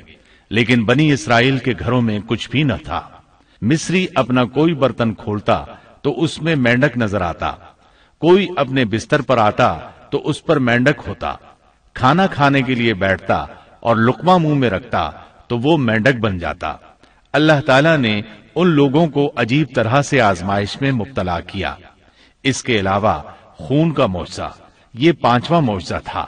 اس کے سامنے فرعون بے بس ہو گیا۔ ان کا پانی خون میں تبدیل ہونے لگا۔ کوئی مصری دریائے نیل سے چلو میں پانی لیتا تو وہ پانی خون بن جاتا، لیکن کوئی اسرائیلی پانی لیتا تو وہ پانی ہی رہتا۔ مصری کسی کنویں سے پانی نکالتے تو وہ خون بن جاتا، اسی کنویں سے اسرائیلی پانی لیتے تو پانی ہی رہتا۔ اللہ تعالی نے ان سے پانی کو روک لیا۔ پھر مصری پانی حاصل کرنے کے لیے بنی اسرائیل کے پاس آنے لگے۔ وہ ان سے پانی مانگتے۔ جب بنی اسرائیل ان کے لیے پانی ڈالتے تو وہ فوراً خون میں تبدیل ہو جاتا۔ اسی پانی کو بنی اسرائیل پیتے تو پانی ہی رہتا۔ سب لوگوں نے یہ معجزات اپنی آنکھوں سے دیکھ لیے، لیکن پھر بھی موسا علیہ السلام پر ایمان نہ لائے اور غرور و تکبر پر اڑے رہے۔ جیسا کہ اللہ تعالی سورت العراف آیت 133 میں فرماتے ہیں۔ سو وہ تکبر کرتے رہے اور وہ لوگ تھے ہی جرائم پیشہ۔ نو عدد معجزات دیکھ لینے کے بعد بھی وہ ایمان نہ لائے حق کو جھٹلاتے ہی رہے۔ سب سے سخت ترین عذاب خون کا عذاب تھا۔ معاملہ جب یہاں تک پہنچا تو سب جمع ہو کر موسا علیہ السلام کے پاس آئے اور یوں گویا ہوئے۔ کہنے لگے اے موسا ہمارے لیے اپنے رب سے اس بات کی دعا کر دیجیے۔ جس کا اس نے آپ سے عہد کر رکھا ہے۔ اگر آپ اس عذاب کو ہم سے ہٹا دیں، تو ہم ضرور ضرور آپ پر ایمان لے آئیں گے۔ اور ہم بنی اسرائیل کو بھی رہا کر کے آپ کے ہمراہ کر دیں گے۔ پھر جب ان سے اس عذاب کو ایک خاص وقت تک کے لیے، جس تک بہرحال ان کو پہنچنا تھا، ہٹا دیتے، تو وہ فوراً ہی عہد شکنی کرنے لگتے۔ آخر کار موسا علیہ السلام کو اللہ کا حکم ہوا۔ کہ راتوں رات تو میرے بندوں کو لے کر نکل جا۔ دوسری جگہ یوں ارشاد ہوتا ہے۔ ہم نے موسا کی طرف وہی نازل فرمائی کہ راتوں رات میرے بندوں کو لے چل۔ چنانچہ سب بنی اسرائیل رات کی تاریکی میں نکلے۔ وہ دروازوں پر کوئی خاص نشان چھوڑ کر چلنے لگے۔ رات کی تاریکی میں نکلنے کا حکم اس لیے دیا گیا تاکہ فرعون ان کے بارے میں کوئی فیصلہ نہ کر سکے۔ انہوں نے صبح ہونے کا انتظار نہ کیا۔ ان کی تعداد چھ لاکھ کے قریب تھی۔ یہ سب لوگ اپنے مال مویشی اور ضروری سامان ساتھ لے کر چلے۔ فلسطین کی طرف چھ لاکھ افراد کی یہ عظیم ہجرت تھی۔ فرون کو صبح سویرے پتا چلا تو سوچ میں ڈوب گیا کہ اب ہماری خدمت کون کرے گا؟ ہماری غلامی کون کرے گا؟ اس کی حالت پاگلوں جیسی ہو گئی۔ آخر اس نے بنی اسرائیل کے تعاقب کا حکم دیا۔ اللہ تعالیٰ اس موقع پر سورت الشعراء آیات ستاون تا ساٹھ میں فرماتے ہیں۔ آخر کار ہم نے انہیں باغات سے اور چشموں سے اور خزانوں سے اور اچھے اچھے مقامات سے نکال باہر کیا۔ اسی طرح ہوا اور ہم نے ان تمام چیزوں کا وارث بنی اسرائیل کو بنا دیا۔ پس فرعون کے لوگ سورج نکلتے ہی ان کے تعاقب میں نکلے۔ یعنی فرعون طلوع آفتاب کے وقت ہی ان کے تعاقب میں لشکروں کی تیاری کے ساتھ نکل کھڑا ہوا۔ موسا علیہ السلام بنی اسرائیل کو لیے باہر احمر کے ایک کنارے پہنچے۔ باہر قلزم باہر احمر ہی کا ایک کنارہ ہے۔ انہوں نے پیچھے مڑ کر دیکھا، کیا دیکھتے ہیں کہ فرعون اپنے لاؤ لشکر کے ساتھ بھاگا آ رہا ہے۔ بنی اسرائیل گھبرا گئے کہ اب کیا ہوگا۔ سامنے ٹھاٹھے مارتا سمندر اور پیچھے فرعون اور اس کا لشکر۔ اللہ تعالیٰ اس موقع پر سورت الشعراء آیت تریسٹھ میں فرماتے ہیں۔ ہم نے موسا کی طرف وہی بھیجی کہ دریا پر اپنا آسا مارو۔ بس اسی وقت دریا پھٹ گیا اور پانی کا ہر ایک حصہ بڑے پہاڑ کی طرح کھڑا ہو گیا۔ سمندر لاٹھی لگنے سے ایسا پھٹا کہ پانی کے دو بڑے بڑے پہاڑ بن گئے۔ یعنی سمندر کے اندر خشک راستے بن گئے اور اطراف میں پانی کے پہاڑ کھڑے ہو گئے۔ اللہ تعالی نے بھی فرما دیا سورت توحا آیت ستتر میں ہے کہ تو راتوں رات میرے بندوں کو لے چل اور ان کے لیے سمندر میں خشک راستہ بنا لے، پھر نہ تجھے کسی کے آ پکڑنے کا خطرہ ہوگا، نہ ڈر۔ یہ سب کے سب ان راستوں سے پار چلے گئے۔ اب جو ہی فرون وہاں پہنچا، پہلے تو ڈرا، سہما کہ یہ کیا ہوا؟ وہ بھی اور اس کے سب ساتھی بھی اس سوچ میں ہیں کہ کیا کریں۔ خوف زدہ تھے۔ ایسے میں فرون کو خیال آیا کہ اگر موسا اور بنی اسرائیل یہاں سے صحیح سلامت گزر گئے ہیں، تو ہم کیوں نہیں گزر سکتے؟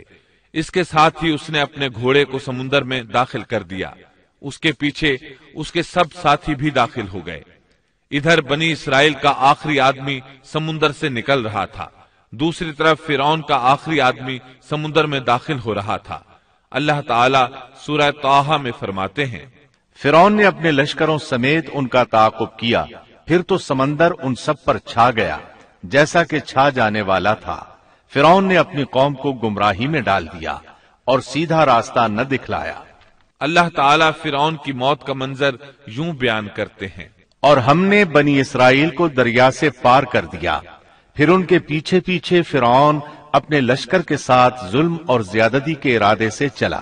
یہاں تک کہ جب ڈوبنے لگا تو کہنے لگا کہ میں اس ذات پر ایمان لاتا ہوں کہ جس پر بنی اسرائیل ایمان لائے ہیں۔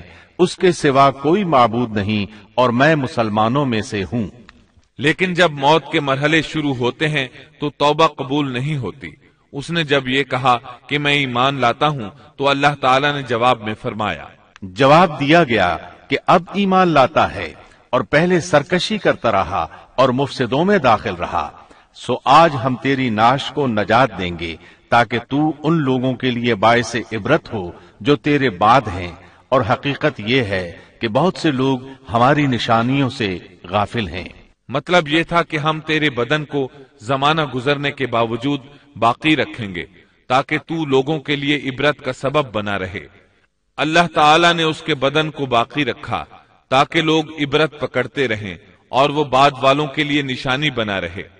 یہ اللہ تعالی کی طرف سے اعلان ہے، لیکن لوگوں کی اکثریت اللہ تعالی کی آیات سے غافل ہے۔ فرعون کی لاش آج بھی احرام مصر یعنی مصر کے عجائب گھر میں موجود ہے۔ حدیث میں آتا ہے، سیدنا جبریل علیہ السلام نے نبی کریم صلی اللہ علیہ وسلم سے عرض کیا، اے اللہ کے رسول صلی اللہ علیہ وسلم، جس وقت فرعون غرق ہوتے ہوئے ایمان کا اظہار کر رہا تھا تو میں اس وقت اس کے منہ میں کیچڑ ڈال رہا تھا کہ کہیں وہ لا الہ الا اللہ نہ کہہ دے اور اللہ اس پر رحم فرما دے۔ لیکن اس کے منہ سے شہادت توحید کی بات نہ نکلی اور بوقت مرگ اللہ تعالی نے اس کی توبہ قبول نہ کی۔ بنی اسرائیل اس کے ظلم سے نجات پا کر سمندر پار چلے گئے۔ ابھی تھوڑی ہی دور گئے ہوں گے کہ ان کا گزر ایک ایسی قوم کے پاس سے ہوا جو اپنے بتوں کی پوجا کر رہی تھی۔ سمندر پار آنے کے فوراً بعد انہوں نے یہ مناظر دیکھے۔ گویا فلسطین پہنچنے سے پہلے ہی انہوں نے میدان سینا میں لوگوں کو بتوں کے آگے جھکا، دیکھ لیا۔ اللہ تعالیٰ سورت العراف آیات 138 تا 140 میں فرماتے ہیں، اور ہم نے بنی اسرائیل کو دریا سے پار اتار دیا۔ بس ان لوگوں کا ایک قوم پر گزر ہوا جو اپنے چند بتوں کی عبادت میں لگے ہوئے تھے۔ کہنے لگے، اے موسا ہمارے لیے بھی ایک ایسا ہی معبود مقرر کر دیجیے جیسے ان کے یہ معبود ہیں۔ آپ نے فرمایا، واقعی تم لوگوں میں بڑی جہالت ہے۔ یہ لوگ جس کام میں لگے ہوئے ہیں، یہ تباہ کیا جائے گا اور ان کا یہ کام محض بے بنیاد ہے۔ فرمایا، کیا اللہ تعالیٰ کے سوا کسی اور کو تمہارے لیے معبود تلاش کروں؟ حالانکہ اس نے تمہیں تمام جہان والوں پر فوقیت دی ہے۔ قرآن کی آیات اس پر دلالت کرتی ہیں کہ سمندر پار سے آتے ہی وہ فوراً ایک قوم کے پاس آئے اور موسا علیہ السلام سے مطالبہ کرنے لگے، غور فرمائیں کس طرح کفر کے مرتکب ہو رہے ہیں۔ فرعون اور اس کی قوم سے نجات پا لینے کے بعد اللہ رب العزت کی طرف سے موسا علیہ السلام پر احکامات نازل ہوئے۔ پہلا حکم یہ ملا کہ اپنی قوم کے ہمراہ کوہ تور پر پھر تشریف لے چلیں۔ اللہ تعالی نے آپ کو وعدہ دیا کہ وہاں ہم آپ کو تورات عطا کریں گے تاکہ آپ کے لیے اور آپ کی قوم کے لیے شریعت مقرر ہو جائے۔ اللہ تعالیٰ سورت العراف آیت 142 میں فرماتے ہیں، اور ہم نے موسا سے تیس راتوں کا وعدہ کیا۔ اللہ تعالیٰ نے موسا علیہ السلام سے وعدہ کیا کہ جبل تور پر آئیں، وہاں تیس راتیں گزاریں یعنی مکمل ایک مہینہ قیام کریں تاکہ ان دنوں میں تورات حاصل کر سکیں۔ موسا علیہ السلام اپنی قوم کو لے کر روانہ ہوئے۔ آپ تیز چلتے ہوئے اپنی قوم سے پہلے کوہ تور پر جا پہنچے تاکہ اللہ تعالیٰ کو خوش کر سکیں اور کتاب الہی تورات حاصل کر سکیں۔ بنی اسرائیل اس وقت لاکھوں کی تعداد میں تھے۔ ظاہر ہے اتنے بڑے ہجوم اور لشکر کا تیزی سے حرکت کرنا ممکن نہیں تھا۔ اس پر اللہ تعالی نے فرمایا۔ اے موسا تجھے اپنی قوم سے غافل کر کے کون سی چیز جلدی لے آئی؟ کہا کہ وہ لوگ بھی میرے پیچھے ہی آ رہے ہیں۔ اور اے میرے پروردگار، میں نے تیری طرف اس لیے جلدی کی کہ تو راضی ہو جائے۔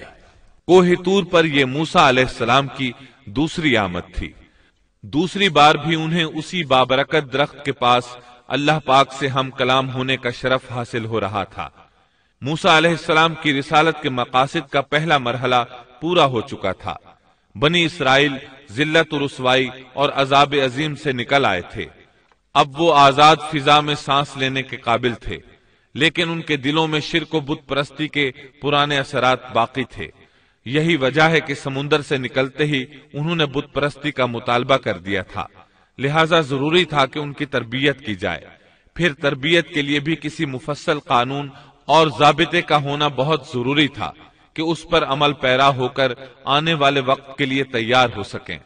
تو اللہ تعالیٰ نے عظیم رسول موسا علیہ السلام کے ساتھ یہی وعدہ کیا تھا کہ وہ تور پہاڑ پر آ کر اللہ کی نگرانی میں براہ راست احکام الہی کو حاصل کرنے کی کما حق تیاری کر سکیں۔ پہلے مدت تیس دن مقرر ہوئی تھی اور پھر چالیس دن ہو گئی۔ جیسا کہ سورت العراف آیت 142 میں اللہ تعالی فرماتے ہیں۔ اور ہم نے موسا سے تیس راتوں کا وعدہ کیا اور مزید دس راتوں سے ان تیس راتوں کو پورا کیا۔ سون کے رب کی مقررہ مدت چالیس راتیں ہو گئیں۔ موسا علیہ السلام اپنی قوم سے رخصت ہوتے وقت اپنے بھائی ہارون علیہ السلام کو اپنا خلیفہ بنا گئے تھے۔ جیسا کہ اللہ تعالیٰ سورت العراف آیت 142 میں فرماتے ہیں۔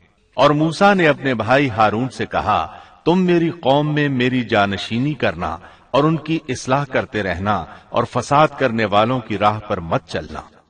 موسا علیہ السلام اپنی قوم کو چھوڑ کر چلے گئے۔ انتظامی معاملات کے لیے ان میں ایک حاکم بھی مقرر کر گئے یعنی اپنے بھائی ہارون کو، جو اللہ کے نبی تھے۔ ان چالیس ایام میں موسا علیہ السلام اپنے پروردگار سے براہ راست کلام کرتے رہے۔ یعنی درمیان میں وہی کا واسطہ بھی نہیں تھا۔ اللہ تعالیٰ بھی ان سے بغیر کسی واسطے کے کلام کرتے رہے۔ اسی وجہ سے آپ کا لقب کلیم اللہ ہے یعنی اللہ سے کلام کرنے والا۔ اللہ سبحانہ و تعالی سورت النساء آیت 164 میں فرماتے ہیں۔ اور موسا سے اللہ تعالیٰ نے صاف طور پر کلام کیا۔ جب موسا علیہ السلام مقررہ وقت پر وہاں پہنچے اور اللہ تعالیٰ نے ان سے کلام کیا تو عرض کرنے لگے کہ اے میرے پروردگار، مجھے اپنا دیدار کرا دیجیے، میں آپ کو ایک نظر دیکھ لوں۔ ارشاد ہوا، تم مجھے ہرگز نہیں دیکھ سکتے، کیونکہ دنیاوی آنکھ میں اتنی طاقت و ہمت نہیں کہ وہ باری تعالیٰ کو دیکھ سکے۔ جیسا کہ سورت الانعام آیت 103 میں ارشاد ربانی ہے۔ اس کا تو کسی کی نگاہ بھی احاطہ نہیں کر سکتی۔ اور وہ سب نگاہوں کو محیط ہو جاتا ہے اور وہی بڑا باریک بین اور باخبر ہے۔ حدیث معراج میں بھی ہے کہ جب ابو ذر رضی اللہ عنہ نے رسول اللہ صلی اللہ علیہ وسلم سے پوچھا حل رایتا ربا کا یعنی کیا آپ نے اپنے رب کو دیکھا بھی ہے؟ تو آپ نے فرمایا تھا نور انا اراہ یعنی وہ تو نور ہے، میں اسے کیسے دیکھ سکتا ہوں؟ اس حدیث مبارکہ سے بھی یہی ثابت ہوتا ہے کہ آپ نے اللہ کا دیدار نہیں کیا۔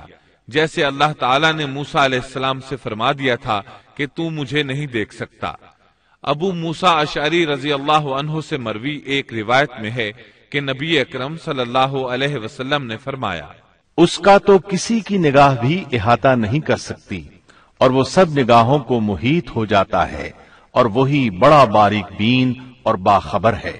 مطلب یہ کہ اللہ سبحانہ و تعالی کا نور اور جلوہ برداشت کرنے کے لیے بہت طاقت کی ضرورت ہے اور ہم اس سے محروم ہیں۔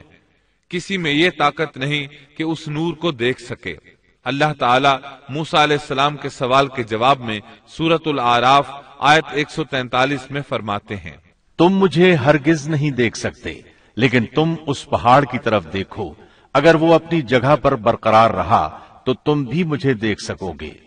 پھر جب ان کے رب نے اس پر تجلی فرمائی تو اسے ریزا ریزا کر دیا اور موسا بے ہوش ہو کر گر پڑے۔ پھر جب ہوش میں آئے تو عرض کیا، بے شک آپ کی ذات پاک ہے، میں تیرے حضور توبہ کرتا ہوں اور میں سب سے پہلا ایمان لانے والا ہوں۔ سیدنا عبداللہ بن عباس رضی اللہ عنہما بیان کرتے ہیں کہ اللہ تعالیٰ نے صرف اور صرف ہاتھ کی سب سے چھوٹی انگلی کے پورے کے برابر اپنا نور ظاہر فرمایا تھا۔ جس پہاڑ پر اللہ تعالیٰ نے تجلی فرمائی تھی، وہ تور پہاڑ کے علاوہ کوئی اور پہاڑ تھا۔ وہ کس قدر عجیب اور ہولناک منظر ہوگا کہ اس دنیا کا ایک عظیم اور مضبوط پہاڑ باری تعالی کے نور کی ایک ہلکی سی جھلک برداشت نہ کر سکا اور ریزا ریزا ہو گیا اور بھر بھری ریت بن گیا۔ موسا علیہ السلام یہ منظر دیکھ رہے تھے۔ بہت حیرت انگیز اور عجیب منظر تھا۔ مضبوط پہاڑ حرکت میں آیا اور ریزا ریزا ہو گیا۔ چنانچہ آپ ہوش و حواس قائم نہ رکھ سکے اور بے ہوش ہو گئے۔ ہوش میں آئے تو فوراً اپنے سوال پر شرمندہ ہوئے۔ غلطی کا اعتراف کرتے ہوئے معافی کے طالب ہوئے۔ جواب میں اللہ تعالی نے فرمایا، اللہ نے فرمایا، اے موسا میں نے پیغمبری اور اپنی ہم کلامی سے تمہیں تمام لوگوں پر امتیاز بخشا ہے۔ تو جو کچھ میں نے تمہیں عطا کیا ہے، اس کو تھام لو اور شکر گزاروں میں سے ہو جاؤ۔ اللہ تعالیٰ نے موسا علیہ السلام کو اپنے زمانے کے تمام لوگوں سے زیادہ مرتبہ عطا فرمایا۔ اس کے بعد اللہ تعالیٰ نے آپ کو تختیوں میں لکھی تورات عطا فرمائی۔ اللہ تعالیٰ سورت العراف آیت 145 میں فرماتے ہیں۔ اور ہم نے چند تختیوں پر ہر قسم کی نصیحت اور ہر چیز کی تفصیل ان کو لکھ کر دی۔ تم ان کو قوت کے ساتھ پکڑ لو اور اپنی قوم کو حکم کرو کہ ان کے اچھے اچھے احکام پر عمل کریں۔ ان قریب میں تم لوگوں کو ان فاسقوں کا گھر دکھلاؤں گا۔ یہ تختیاں کس چیز کی تھیں؟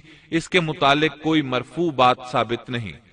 البتہ مفسرین کے مختلف اقوال ہیں۔ بعض کہتے ہیں یہ تختیاں جواہر کی تھیں اور بعض کہتے ہیں کہ یہ تختیاں پتھر کی تھیں۔ موسا علیہ السلام نے چالیس دنوں میں تورات کے اندر لکھے ہوئے اللہ کے احکامات اخذ کر لیے۔ ادھر موسا علیہ السلام کا ان کی قوم انتظار کر رہی تھی۔ اس دوران وہ ایک آزمائش میں مبتلا ہو گئے۔ اللہ تعالی سورہ توحا آیت پچاسی میں فرماتے ہیں۔ فرمایا ہم نے تیری قوم کو تیرے پیچھے آزمائش میں ڈال دیا اور انہیں سامری نے بہکا دیا۔ موسا علیہ السلام کی غیر حاضری میں وہ ایک شخص کی پیروی کرتے ہوئے گمراہ ہو گئے اور ان کی گمراہی کا سبب بننے والا شخص سامری تھا۔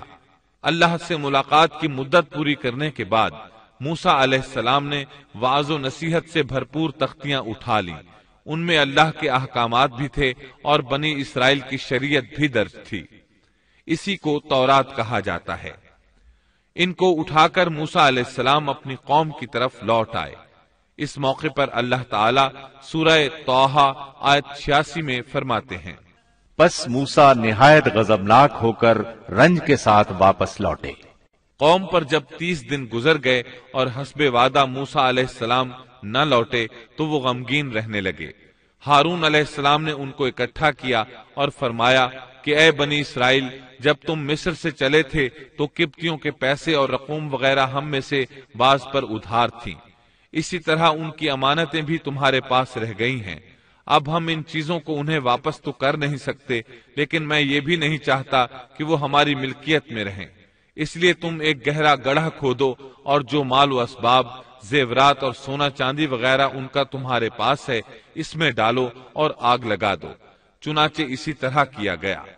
اس دوران ان کے ساتھ سامری نامی ایک شخص تھا۔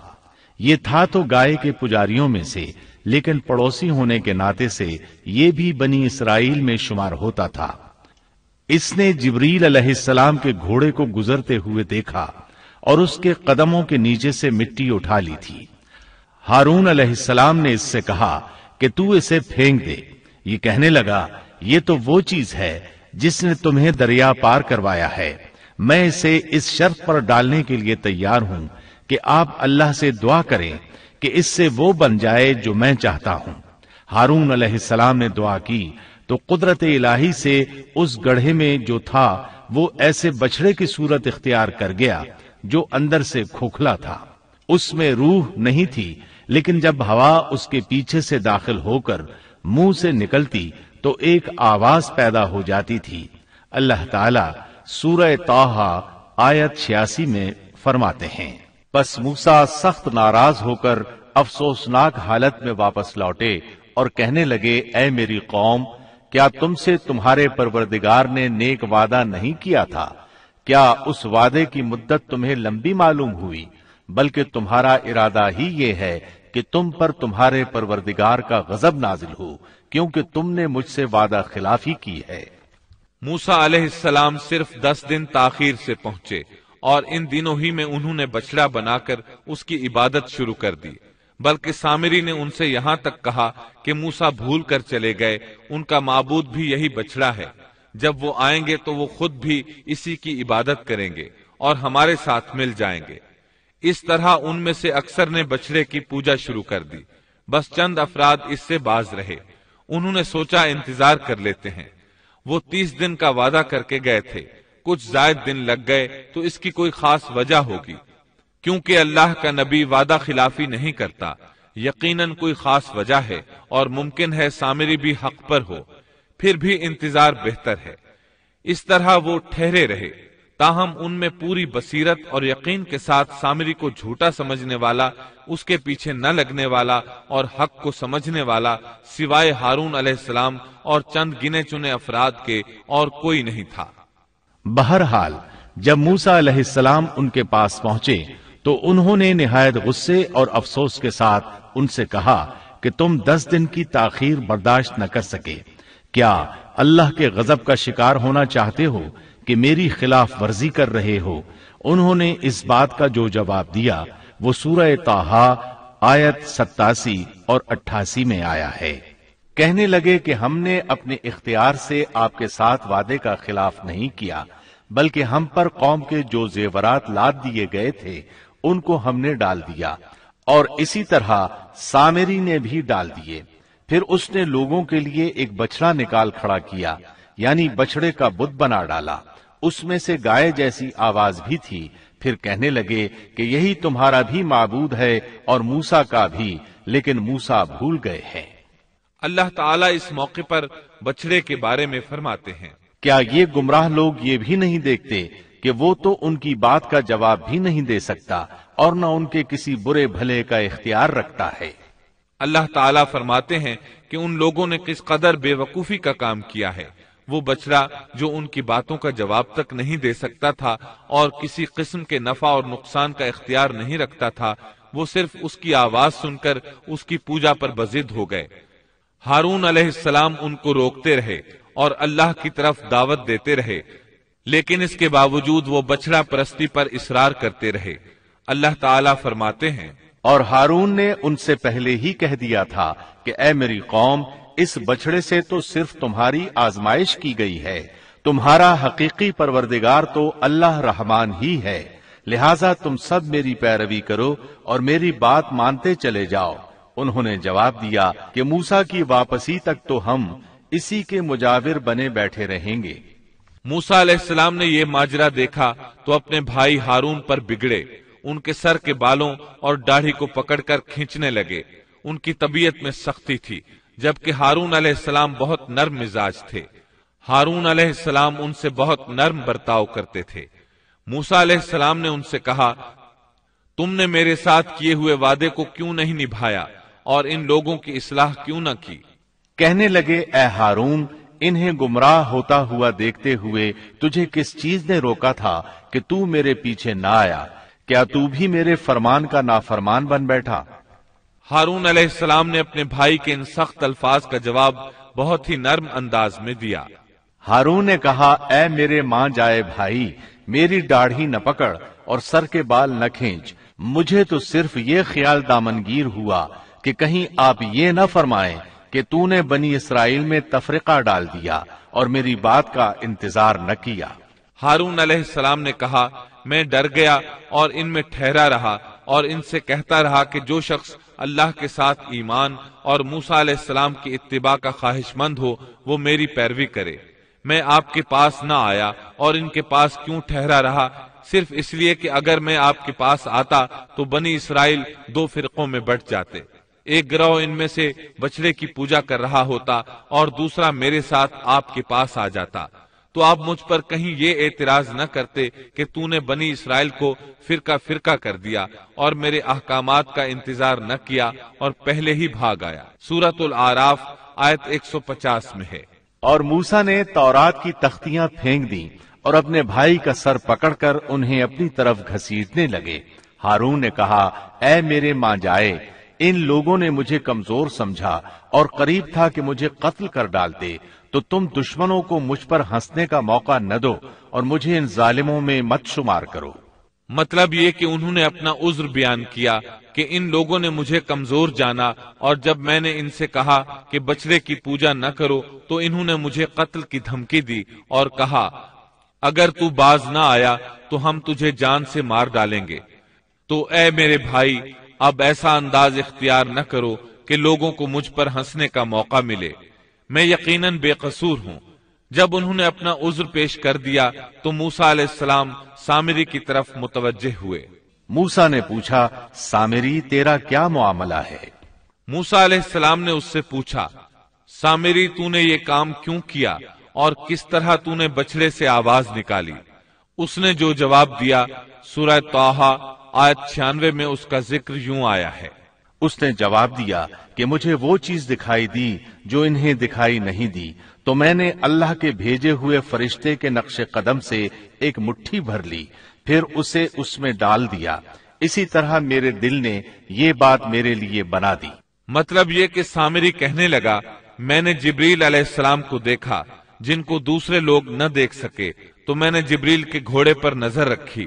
جہاں اس کا قدم پڑا تھا، وہاں سے میں نے مٹی کی ایک مٹھی بھر لی۔ جب میں نے اس کو بچڑے پر پھینکا، تو اس میں سے آواز برامد ہونے لگی، جو ان کے فتنے کا باعث بن گئی۔ یہ قصہ ہے ان کے انحراف کا اور حق سے منہ مو موڑنے کا۔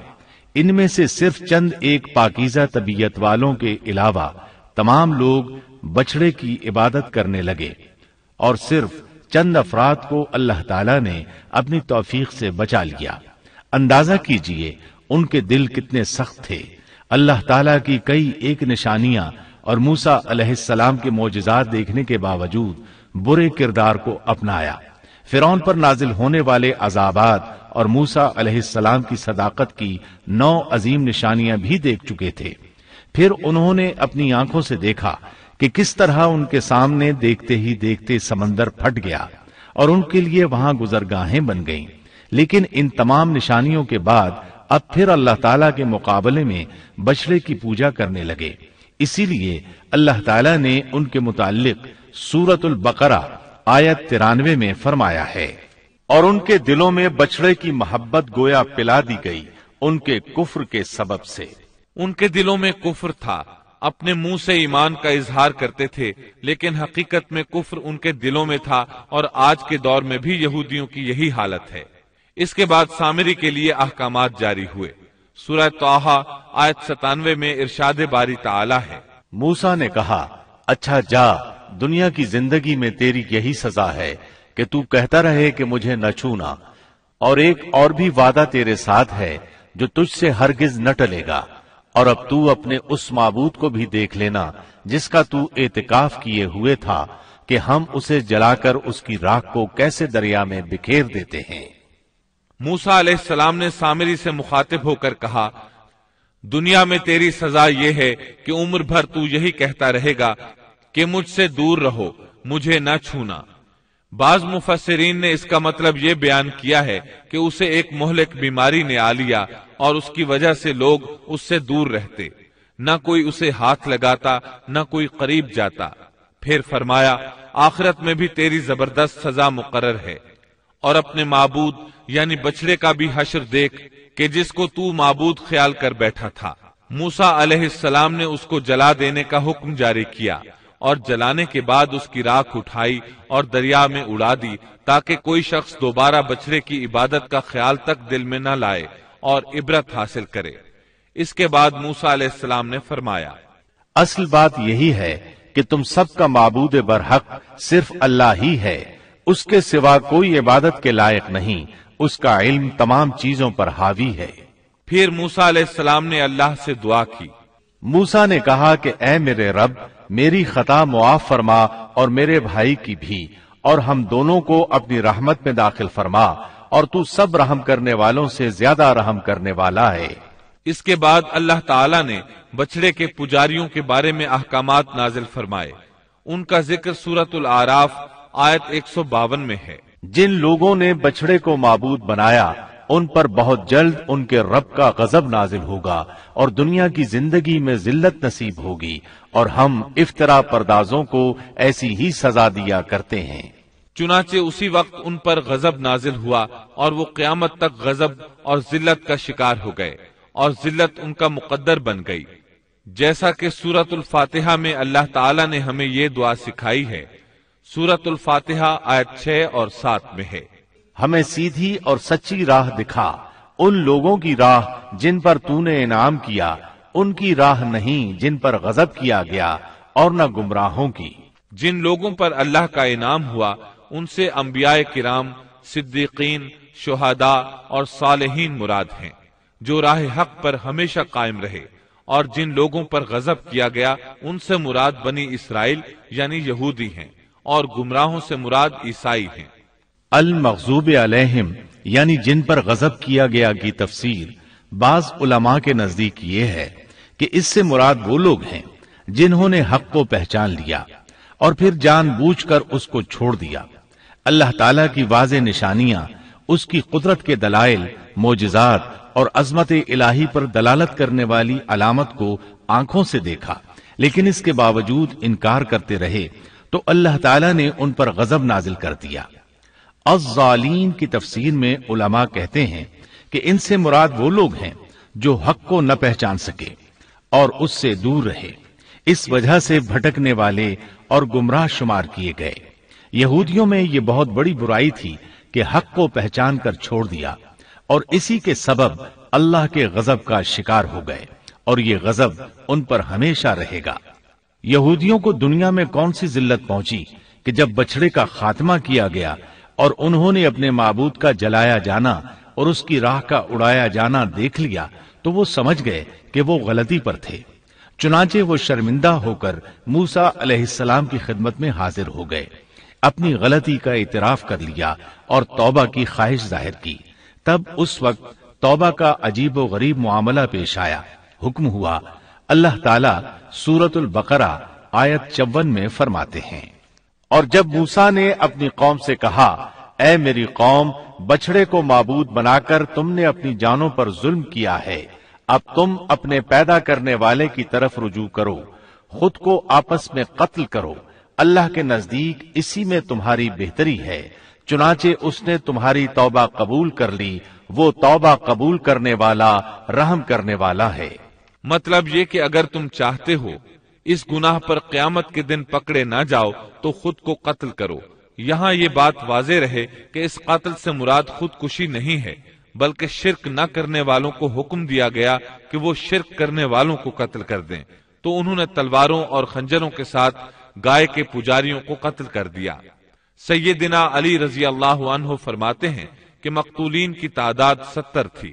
جب ستر آدمی قتل ہو گئے تو موسا اور ہارون علیہ السلام نے آجزی اور انکساری کے ساتھ بارگاہ الہی میں بخشش کی دعا کی۔ اللہ تعالیٰ نے اپنے برگزیدہ بندوں کی دعا قبول فرمائی اور مقتولین کو معاف فرما دیا اور باقی ماندہ لوگوں کو بھی بخشش سے نوازا۔ حقیقت میں یہ سزا اگرچہ سخت تھی اور بھائی کا بھائی کو قتل کرنا ایسا ہے جیسے اپنے آپ کو قتل کرنا لیکن یہ سزا ان کی ضدی ہٹ دھرم اور سرکش طبیعت کے لیے انتہائی مناسب تھی، تاکہ وہ برائیوں سے بچنا سیکھیں اور اپنے گناہوں کا کفارہ ادا کریں۔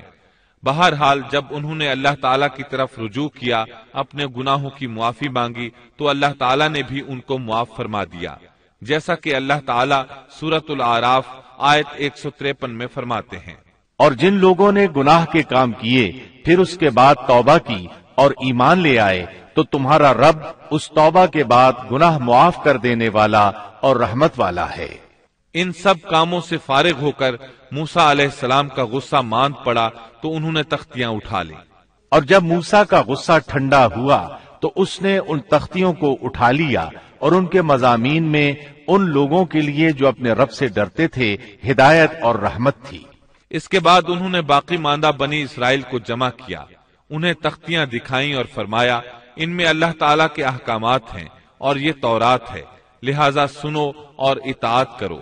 لیکن انہوں نے ناپسندیدگی کا اظہار کیا۔ موسا علیہ السلام نے انہیں پھر تاکید کی اور فرمایا، ان کو مضبوطی سے تھام لو، بغیر کسی تردد اور شک کے ان کو پکڑ لو، تاکہ تمہیں دوبارہ عذاب نہ پہنچے۔ انہوں نے جواب دیا، نہیں، ہم ایسا نہیں کریں گے۔ البتہ ہم ان احکامات کی پہچان اور معرفت حاصل کر سکتے ہیں، لیکن ان پر عمل بالکل نہیں کریں گے۔ موسا علیہ السلام نے انہیں بہت سمجھایا، لیکن وہ اپنی ضد پر اڑے رہے۔ اللہ تعالیٰ سورت البقرہ آیت بانوے اور ترانوے میں فرماتے ہیں۔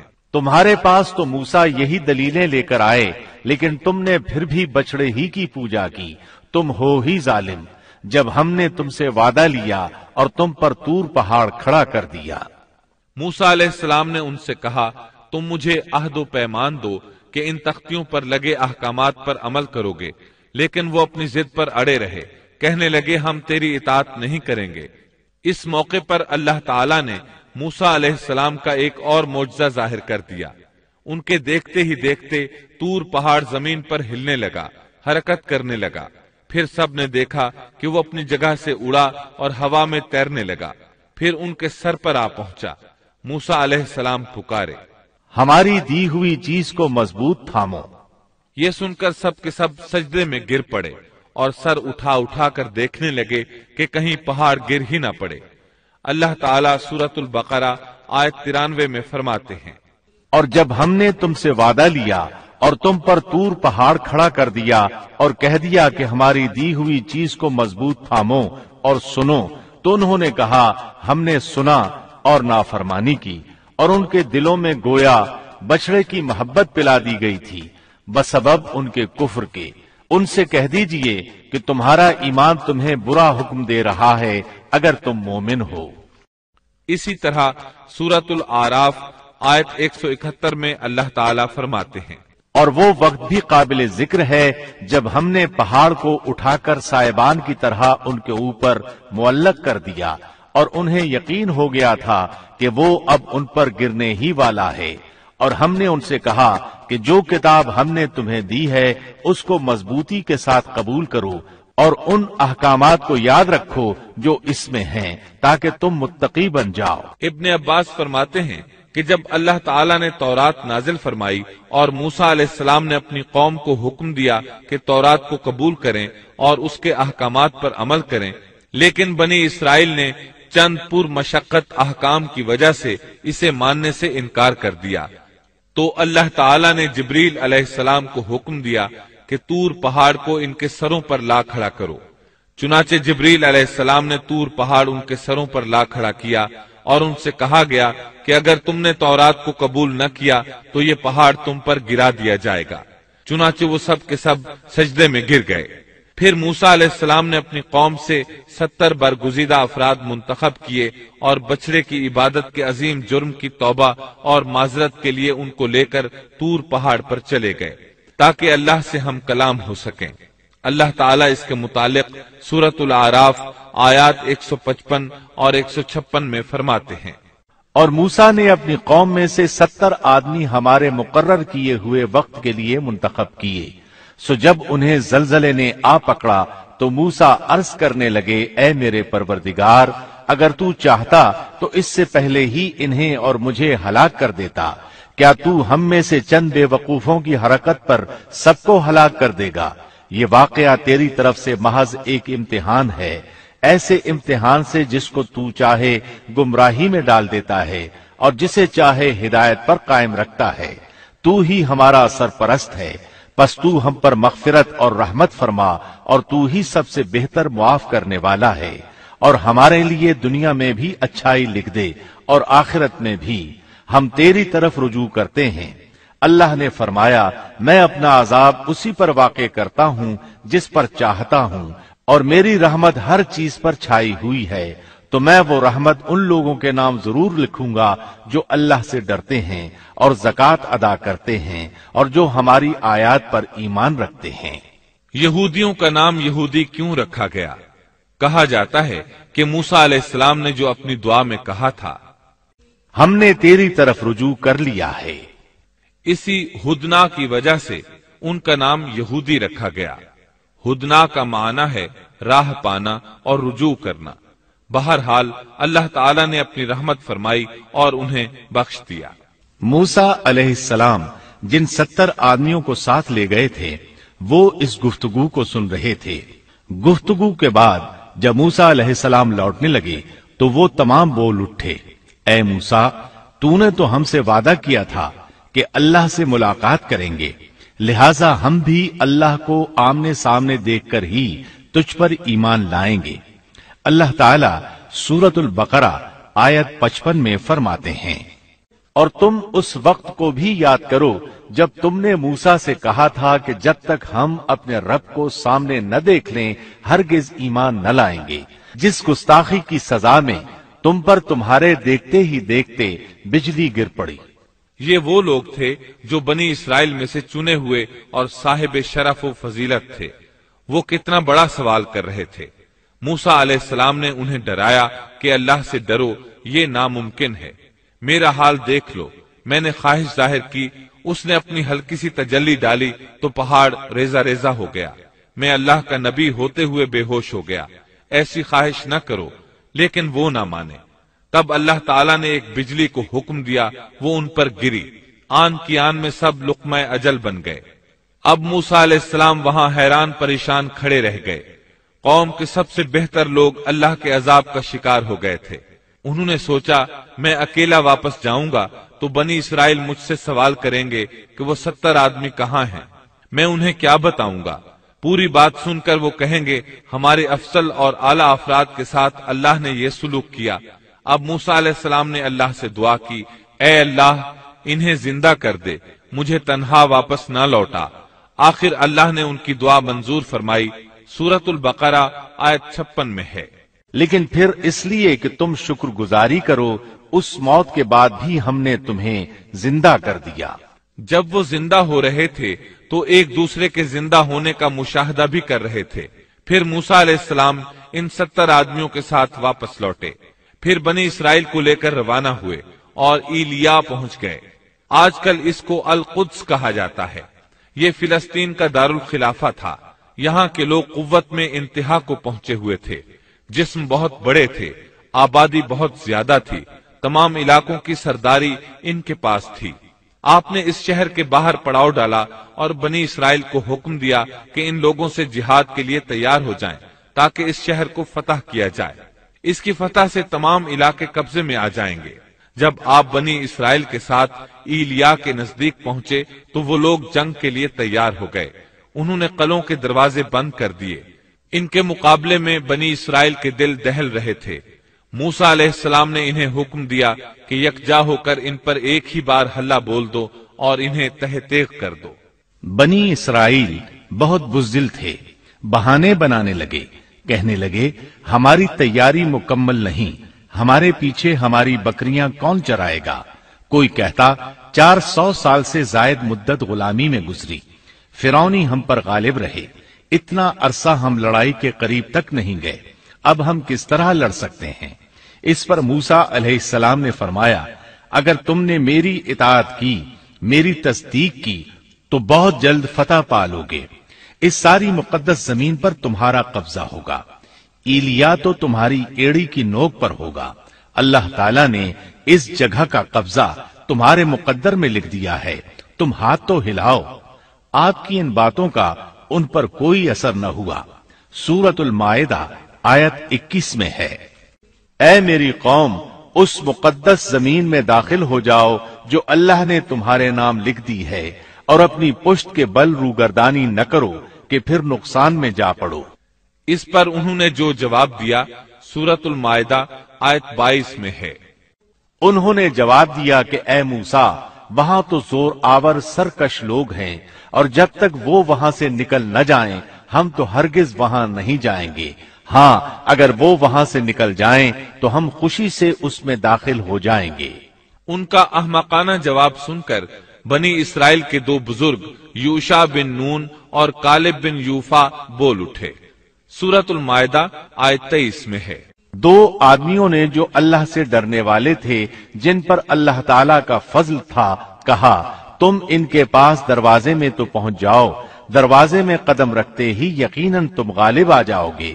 اور اگر تم مومن ہو تو اللہ ہی پر تمہیں بھروسہ رکھنا چاہیے۔ یہ ان کے لیے کس قدر آسان بات تھی۔ لیکن بنی اسرائیل کی ایک لاکھ تعداد میں سے کسی ایک کو بھی عمل کی توفیق نہ ہوئی۔ یہاں تک کہ ستر آدمی جو آپ کے ساتھ کوہ تور پر گئے تھے، وہ بھی ٹس سے مس نہ ہوئے۔ حالانکہ اللہ تعالیٰ نے انہیں دوبارہ زندگی عطا فرمائی تھی۔ بڑی ڈھٹائی سے کہنے لگے، قوم نے جواب دیا کہ اے موسا جب تک وہ وہاں ہیں، تب تک ہم ہرگز وہاں نہ جائیں گے۔ اس لیے کہ تم اور تمہارا پروردگار جا کر دونوں ہی لڑ بھیڑ لو، ہم یہیں بیٹھے ہیں۔ یہ زبردست قسم کے گستاخانہ الفاظ تھے۔ ان کے مقابلے میں غزوہ بدر کے موقع پر صحابہ کرام رضی اللہ عنہم نے جو جواب دیا، وہ تاریخ کے اوراق میں سنہری حروف میں درج ہے۔ جب نبی کریم صلی اللہ علیہ وسلم نے صحابہ کرام سے مشورہ لیا، انہیں خبر دی کہ قریش کا لشکر آ پہنچا۔ تو مقداد بن امر رضی اللہ عنہ کھڑے ہوئے اور عرض کیا، اے اللہ کے رسول، اللہ کی قسم، ہم آپ سے وہ نہیں کہیں گے جو بنی اسرائیل نے موسا علیہ السلام سے کہا تھا کہ تو اور تیرا رب دونوں چلے جاؤ اور لڑو، ہم یہیں بیٹھے ہیں۔ بلکہ ہم کہتے ہیں، آپ اور آپ کا پروردگار دونوں لڑیں، ہم بھی آپ کے ساتھ لڑیں گے۔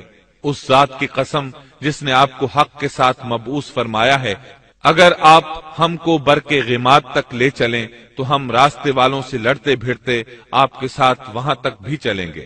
کتنا عظیم فرق ہے موسا علیہ السلام کے صحابہ میں اور نبی کریم صلی اللہ علیہ وسلم کے صحابہ کرام میں۔ یہ صورتحال دیکھ کر موسا علیہ السلام نے دعا کی۔ موسا کہنے لگے، الہی، مجھے تو سوائے اپنے اور اپنے بھائی کے کسی اور پر کوئی اختیار نہیں۔ تو ہم میں اور ان نافرمانوں میں جدائی ڈال دے۔ چنانچہ اللہ تعالیٰ نے فوراً ہی بنی اسرائیل کے لیے ایک اور آزمائش اور سزا کا فیصلہ فرمایا۔ ارشاد ہوا کہ اب زمین ان پر چالیس سال تک حرام کر دی گئی ہے۔ یہ خانہ بدوش لوگوں کی طرح ادھر ادھر سرگرداں پھرتے رہیں گے۔ اس لیے تم ان فاسقوں کے بارے میں غمگین نہ ہونا پھر اللہ تعالیٰ نے موسا علیہ السلام کو حکم دیا کہ انہیں یہاں سے واپس لے چلیں۔ اور قریب والی بستی میں داخل کر دیں، چنانچہ وہ چل پڑے۔ لیکن وہ بستی نہ آئی۔ سفر کرتے رہے کرتے رہے۔ لیکن پھر بھی خود کو وہیں کے وہیں پاتے۔ چالیس سال اسی طرح گزر گئے اور وہ اس میدان سے نہ نکل سکے۔ اس میدان کو میدان تی کہا جاتا ہے۔ اس دوران البتہ انہیں کھانے پینے کا سامان مہیا ہوتا رہا۔ موسا علیہ السلام کے پتھر پر لاٹھی مارنے سے بارہ قبیلوں کے لیے بارہ چشمے جاری ہوئے۔ سورت العراف آیت ایک سو ساٹھ میں ہے۔ اور ہم نے موسا کو حکم دیا جبکہ ان کی قوم نے ان سے پانی مانگا کہ اپنی لاٹھی کو فلاں پتھر پر مارو۔ پس فوراً اس سے بارہ چشمے پھوٹ نکلے۔ ہر ہر شخص نے اپنے پینے کی جگہ معلوم کر لی۔ بارہ چشمے اس لیے کہ بنی اسرائیل کے بارہ قبیلے تھے۔ یعقوب علیہ السلام کی نسل سے ان کے بیٹوں کے بارہ قبیلے وجود میں آئے تھے۔ جب یہ کہیں پڑاؤ ڈالتے تو چشمے بہتے رہتے، کوچ کرتے تو پانی بند ہو جاتا، وہ اس پتھر کو اٹھا کر چل پڑتے۔ پھر پڑاؤ کی جگہ پر پتھر رکھ دیتے تو پانی جاری ہو جاتا۔ چالیس سال اسی طرح گزرے۔ چونکہ وہ ایک صحرا میں تھے، وہاں سایہ نہیں تھا، سورج کی گرمی کی شدت تھی، آخر انہوں نے کہا، اے موسا اپنے رب سے دعا کریں کہ ہم دھوپ سے بچ جائیں۔ آپ نے دعا فرمائی اللہ نے ان کے لیے سائے کا انتظام کر دیا۔ اللہ تعالیٰ سورت العراف آیت ایک سو ساٹھ میں فرماتے ہیں۔ اور ہم نے ان پر بادلوں کا سایہ کر دیا۔ اسی طرح جب انہیں بھوک ستاتی تو ان کے پاس بے شمار پرندے آ جاتے۔ اللہ تعالیٰ سورت العراف آیت ایک سو ساٹھ میں فرماتے ہیں۔ اور ہم نے ان پر من اور سلوا نازل کیا۔ ان چالیس سالوں میں کچھ اہم واقعات بھی پیش آئے۔ ان میں سب سے مشہور قصہ گائے والا ہے۔ ایک دن وہ لوگ نیند سے بیدار ہوئے تو انہوں نے اپنی قوم کے بڑے افراد میں سے ایک شخص کو دیکھا کہ اسے قتل کیا جا چکا تھا۔ قاتل کا کھوج لگانے کی کوشش کی گئی لیکن کامیابی نہ ہو سکی۔ آخر وہ سب موسا علیہ السلام کے پاس آئے۔ آپ نے اللہ سے دعا کی۔ تب اس سلسلے میں وہی نازل ہوئی۔ اللہ تعالیٰ سورت البقرہ آیت سڑسٹھ میں فرماتے ہیں۔ اور موسا نے جب اپنی قوم سے کہا کہ اللہ تمہیں ایک گائے ذبح کرنے کا حکم دیتا ہے، تو انہوں نے کہا، ہم سے مذاق کیوں کرتے ہو؟ آپ نے جواب دیا کہ میں ایسا جاہل ہونے سے اللہ کی پناہ پکڑتا ہوں۔ موسا علیہ السلام نے انہیں بتایا کہ اس سلسلے میں اللہ تعالیٰ نے ایک گائے کو ذبح کرنے کا حکم دیا ہے۔ وہ کہنے لگے، بھلا یہ کوئی عقل کی بات ہے؟ مسئلہ قتل کا ہے اور آپ گائے ذبح کرنے کا حکم دے رہے ہیں۔ آپ تو ہم سے مذاق کر رہے ہیں۔ آپ نے فرمایا، مذاق کرنا تو جاہلوں کا کام ہے۔ انہوں نے جو جواب دیا، وہ سورت البقرہ آیت اڑسٹھ میں ہے۔ انہوں نے کہا، اے موسا دعا کیجیے کہ اللہ ہمارے لیے اس کی ماہیت بیان کر دے۔ آپ نے فرمایا، سنو، وہ گائے نہ تو بالکل بوڑھی ہو، نہ بچہ، بلکہ درمیانی عمر کی نوجوان ہو۔ اب جو تمہیں حکم دیا گیا ہے، بجا لاؤ۔ اس پر وہ بولے۔ وہ پھر کہنے لگے کہ دعا کریں کہ اللہ بیان کرے کہ اس کا رنگ کیا ہے۔ فرمایا، وہ کہتا ہے کہ وہ گائے زرد رنگ کی ہو، چمکیلا اور دیکھنے والوں کو بھلا لگنے والا رنگ۔ اس پر انہوں نے ایک اور سوال کر دیا۔ سورت البقرہ آیت ستر اور اکہتر میں ہے۔ وہ کہنے لگے کہ اپنے رب سے دعا کریں کہ وہ ہمیں اس گائے کی مزید ماہیت بتائے۔ اس قسم کی گائیں تو بہت ہیں، پتہ نہیں چلتا۔ اگر اللہ نے چاہا تو ہم ہدایت والے ہو جائیں گے۔ موسا نے فرمایا کہ اللہ کا فرمان ہے کہ وہ گائے کام کرنے والی، ہل میں جوتنے والی اور کھیتوں کو پانی پلانے والی نہ ہو، تندرست اور بے داغ ہو۔ انہوں نے کہا، اب آپ نے حق واضح کر دیا۔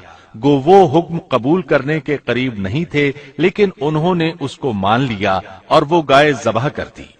موسا علیہ السلام نے حکم دیا کہ اس میں سے ایک گوشت کا ٹکڑا لو اور مقتول کے جسم کے ساتھ لگاؤ۔ انہوں نے ایسا ہی کیا۔ اللہ تعالی سورت البقرہ آیت بہتر اور تہتر میں فرماتے ہیں۔ جب تم نے ایک شخص کو قتل کر ڈالا، پھر اس میں اختلاف کرنے لگے اور جو کچھ تم چھپاتے تھے، اللہ اس کو ظاہر کرنے والا تھا۔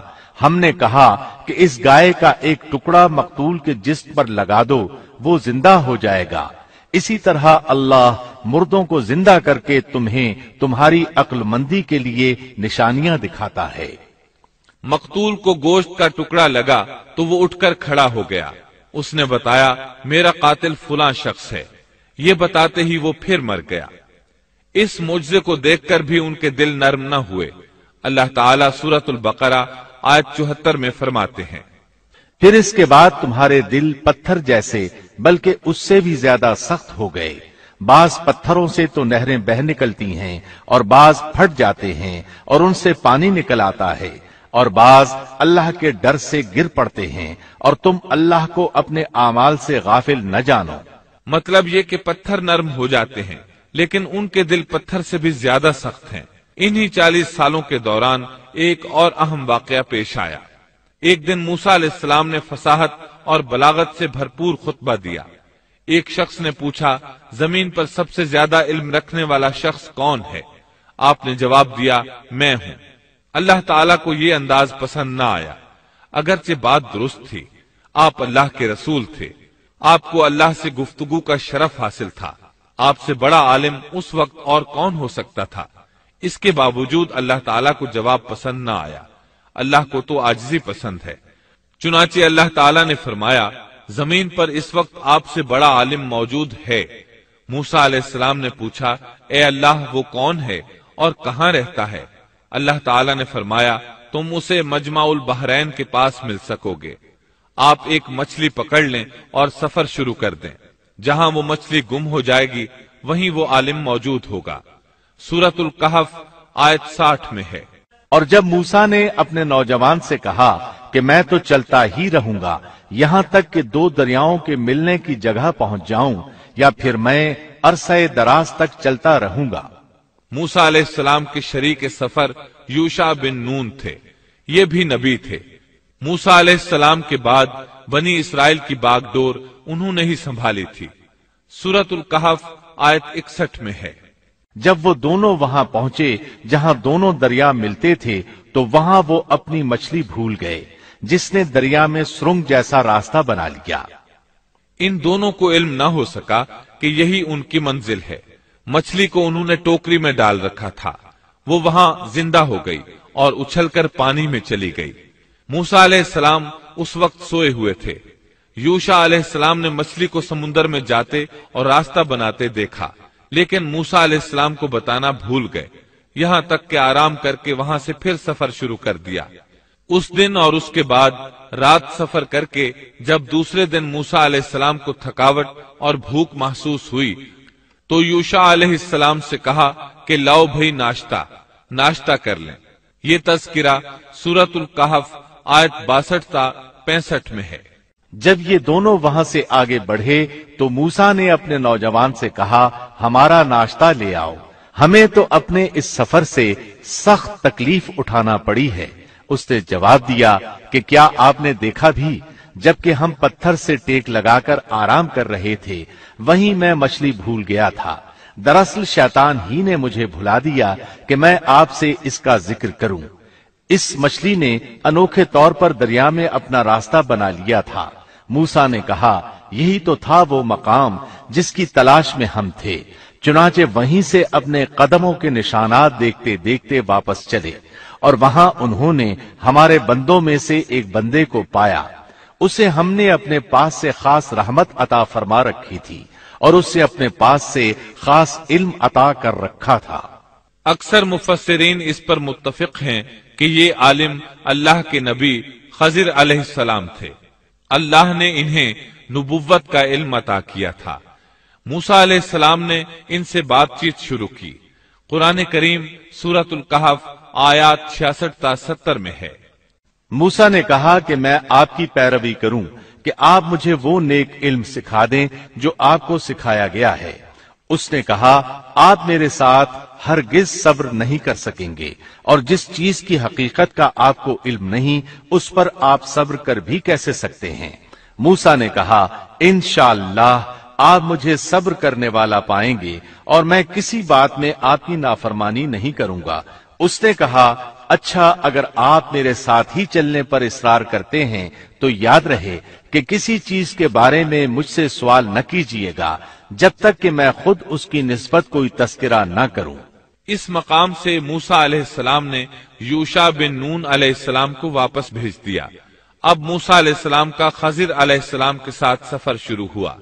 سورت القحف آیات اکہتر تا تہتر میں ہے۔ پھر وہ دونوں چلے۔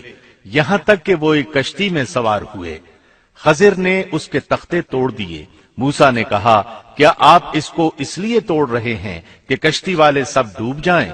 یہ تو آپ نے بڑی خطرناک بات کر دی۔ خضر نے جواب دیا کہ میں نے پہلے ہی تجھ سے کہہ دیا تھا کہ آپ میرے ساتھ ہرگز صبر نہیں کر سکیں گے۔ موسا نے جواب دیا کہ میری بھول پر مجھے نہ پکڑیے اور مجھے میرے کام میں تنگی میں نہ ڈالیے۔ دونوں نے سفر شروع کیا۔ راستے میں کچھ مسکین لوگوں کی ایک کشتی دیکھی۔ وہ محنت کرتے تھے۔ کرایہ لے کر لوگوں کو دریا پار کرایا کرتے تھے۔ انہوں نے خضر علیہ السلام کو پہچان لیا۔ انہیں اور موسا علیہ السلام کو کشتی پر سوار کر لیا۔ سفر کے دوران خضر علیہ السلام نے لوہا پکڑا اور لگے کشتی میں سوراخ کرنے۔ کشتی کے ڈوبنے کا خطرہ پیدا ہو گیا۔ لوگ پانی کشتی سے باہر پھینکنے لگے۔ اس طرح کشتی خطرے سے نکل آئی۔ موسا علیہ السلام نے اس فیل کو ناپسند فرمایا اور بولے کیا لوگوں کو ڈبونے کا ارادہ ہے؟ خضر علیہ السلام نے جواب دیا کہ میں نے تو پہلے ہی کہہ دیا تھا کہ آپ میرے ساتھ صبر نہیں کر سکیں گے۔ موسا علیہ السلام بولے، واقعی میں نے اجلت سے کام لیا۔ انہوں نے معذرت کی۔ سورت القحف آیت چوہتر تا چھتر میں ہے۔ پھر دونوں چلے۔ یہاں تک کہ وہ ایک لڑکے کو ملے۔ خزر نے اسے مار ڈالا۔ موسا بولے، کیا آپ نے ایک بے گناہ کی جان لی؟ اور وہ بھی کسی کے خون کے بدلے میں نہیں۔ یہ تو آپ نے بڑی بیجا اور ناپسندیدہ حرکت کی۔ وہ کہنے لگے، میں نے آپ سے کہا نہیں تھا کہ آپ میرے ساتھ رہ کر ہرگز صبر نہیں کر سکیں گے۔ موسا نے جواب دیا، اب اگر میں آپ سے کسی چیز کے بارے میں سوال کروں تو بے شک مجھے اپنے ساتھ نہ رکھیے گا۔ یقیناً آپ میری طرف سے حد عذر کو پہنچ چکے۔ ایک بار پھر سفر شروع ہوا۔ سورت القحف آیت ستتر تا اٹھتر میں ہے۔ پھر دونوں چلے۔ ایک گاؤں کے پاس آ کر ان سے کھانا طلب کیا۔ انہوں نے ان کی مہمانداری سے صاف انکار کر دیا۔ بس دونوں نے وہاں ایک دیوار کو دیکھا جو گرنے کے قریب تھی۔ اس نے اسے ٹھیک اور درست کر دیا۔ موسا کہنے لگے، اگر آپ چاہتے تو اس کی اجرت لے سکتے تھے۔ اس نے کہا، بس اب آپ کے اور میرے درمیان جدائی ہے۔ اب میں ان باتوں کی حقیقت بتاؤں گا جن پر آپ صبر نہ کر سکے۔ اب انہوں نے وضاحت کی۔ سورت القحف آیت اناسی میں ہے۔ کشتی تو چند مسکینوں کی تھی جو دریا میں کام کاج کرتے تھے۔ میں نے اس میں کچھ توڑ پھوڑ کرنے کا ارادہ کر لیا کیونکہ ان کے آگے ایک بادشاہ تھا جو ہر ایک صحیح سالم کشتی کو جبرن ضبط کر لیتا تھا۔ پھر انہوں نے دوسرے واقعے کے متعلق بتایا۔ سورت القحف آیت اسی اور اکاسی میں ہے۔ اور اس لڑکے کے ماں باپ ایماندار تھے۔ ہمیں خوف ہوا کہ کہیں یہ انہیں اپنی سرکشی اور کفر سے آجز اور پریشان نہ کر دے۔ اس لیے ہم نے چاہا کہ انہیں ان کا پروردگار اس کے بدلے اس سے بہتر پاکیزگی والا اس سے زیادہ پیار محبت والا بچہ عنایت فرمائے۔ تیسرے واقعے کی وضاحت سورت القحف آیت بیاسی میں ہے۔ دیوار کا قصہ یہ ہے کہ اس شہر میں دو یتیم بچے ہیں، جن کا خزانہ ان کی دیوار کے نیچے دفن ہے۔ ان کا باپ بہت نیک تھا۔ تو تیرے رب کی چاہت تھی کہ یہ دونوں یتیم اپنی جوانی کی عمر میں آ کر اپنا یہ خزانہ تیرے رب کی مہربانی اور رحمت سے نکالے۔ ان تینوں قصص اور معاملات کی وضاحت کرنے کے بعد خضر علیہ السلام ایک عظیم امر بیان کرتے ہوئے فرماتے ہیں۔ سورت القحف آیت بیاسی میں ہے۔ میں نے اپنی رائے سے کوئی کام نہیں کیا۔ یہ تھی اصل حقیقت ان واقعات کی جن پر آپ صبر نہ کر سکے۔ اللہ تعالیٰ نے خضر علیہ السلام کو بعض امور غیب پر اطلاع دے دی اور وہی کے ذریعے ان پر چند غیبی معاملات ظاہر فرما دیے۔ اس طرح وہ جان گئے کہ وہ بادشاہ نئی کشتیاں غصب کر لیتا ہے۔ وہ بچہ بڑا ہو کر سرکش بنے گا۔ اور دونوں بچے بڑے ہو کر اپنا خزانہ نکالیں گے۔ یہ امور علم نبوت کی وجہ سے واقع ہوئے تھے۔ اپنی طرف سے خضر علیہ السلام نے یہ تصرفات نہیں کیے تھے۔ یہ علم انسان کی ذات کی طرف سے نہیں ہوتا۔ نہ ہی ہر انسان کو یہ علم حاصل ہو سکتا ہے۔ یہ تو صرف انبیاء کرام کو اللہ تعالیٰ کی جانب سے حاصل ہوتا ہے۔ وہ جسے چاہتا ہے عطا کرتا ہے۔ جیسا کہ یہ علم موسا علیہ السلام کو عطا نہیں فرمایا اور خضر علیہ السلام کو بتلا دیا۔ بنی اسرائیل میدان تیہ میں چالیس سال تک مسلسل محصور رہے۔ اسی اسنا میں ہارون علیہ السلام وفات پا گئے۔ انہیں اس میدان میں دفن کیا گیا اور ان کی وفات کے صرف دو سال بعد موسا علیہ السلام بھی وفات پا گئے۔ ان کی وفات بھی اسی میدان میں ہوئی۔ امام بخاری رحمت اللہ علیہ نے ابو حریرا رضی اللہ عنہ سے ایک روایت نقل کی ہے۔ ابو حریرا رضی اللہ عنہ بیان کرتے ہیں کہ ملک الموت کو موسا علیہ السلام کی طرف روانہ کیا گیا۔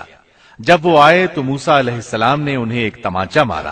وہ پروردگار کے پاس واپس لوٹ گئے اور عرض کیا، باری تعالی، تو نے مجھے ایسے بندے کے پاس بھیج دیا جو مرنا نہیں چاہتا۔ اللہ تعالیٰ نے فرمایا، تو پھر ان کے پاس جا اور اس سے کہہ کہ ایک بیل کی پشت پر اپنا ہاتھ رکھیں۔ جتنے بال ان کے ہاتھ کے نیچے آئیں گے، اتنے برس ہی انہیں زندگی مل جائے گی۔ موسا علیہ السلام نے عرض کیا، اے پروردگار، پھر اس کے بعد کیا ہوگا؟ فرمایا، پھر بھی مرنا ہے۔ تب موسا علیہ السلام نے عرض کیا، تو پھر ابھی صحیح۔ پھر انہوں نے اللہ تعالی سے دعا کی کہ انہیں مقدس زمین یعنی بیت المقدس سے ایک پتھر پھینکنے کی مقدار کے برابر قریب کر دے ابو حریرا رضی اللہ عنہ فرماتے ہیں کہ نبی کریم صلی اللہ علیہ وسلم نے فرمایا، اگر میں وہاں ہوتا تو تمہیں موسا علیہ السلام کی قبر بتا دیتا۔ وہ راستے کے کنارے سرخ ٹیلے کے نیچے ہے۔ اس حدیث کو امام بخاری نے صحیح بخاری میں بیان کیا ہے۔ معلوم ہوا کہ انبیاء کرام کو موت کے وقت اختیار دیا جاتا ہے کہ دنیا میں اور رہنا چاہتے ہیں تو رہ سکتے ہیں، لیکن آخر موت ہے۔ سورت الزمر آیت تیس میں اللہ تعالی نے نبی کریم صلی اللہ علیہ وسلم سے فرمایا یقیناً خود آپ کو بھی موت کا مزہ چکھنا ہے اور یہ سب بھی مرنے والے ہیں۔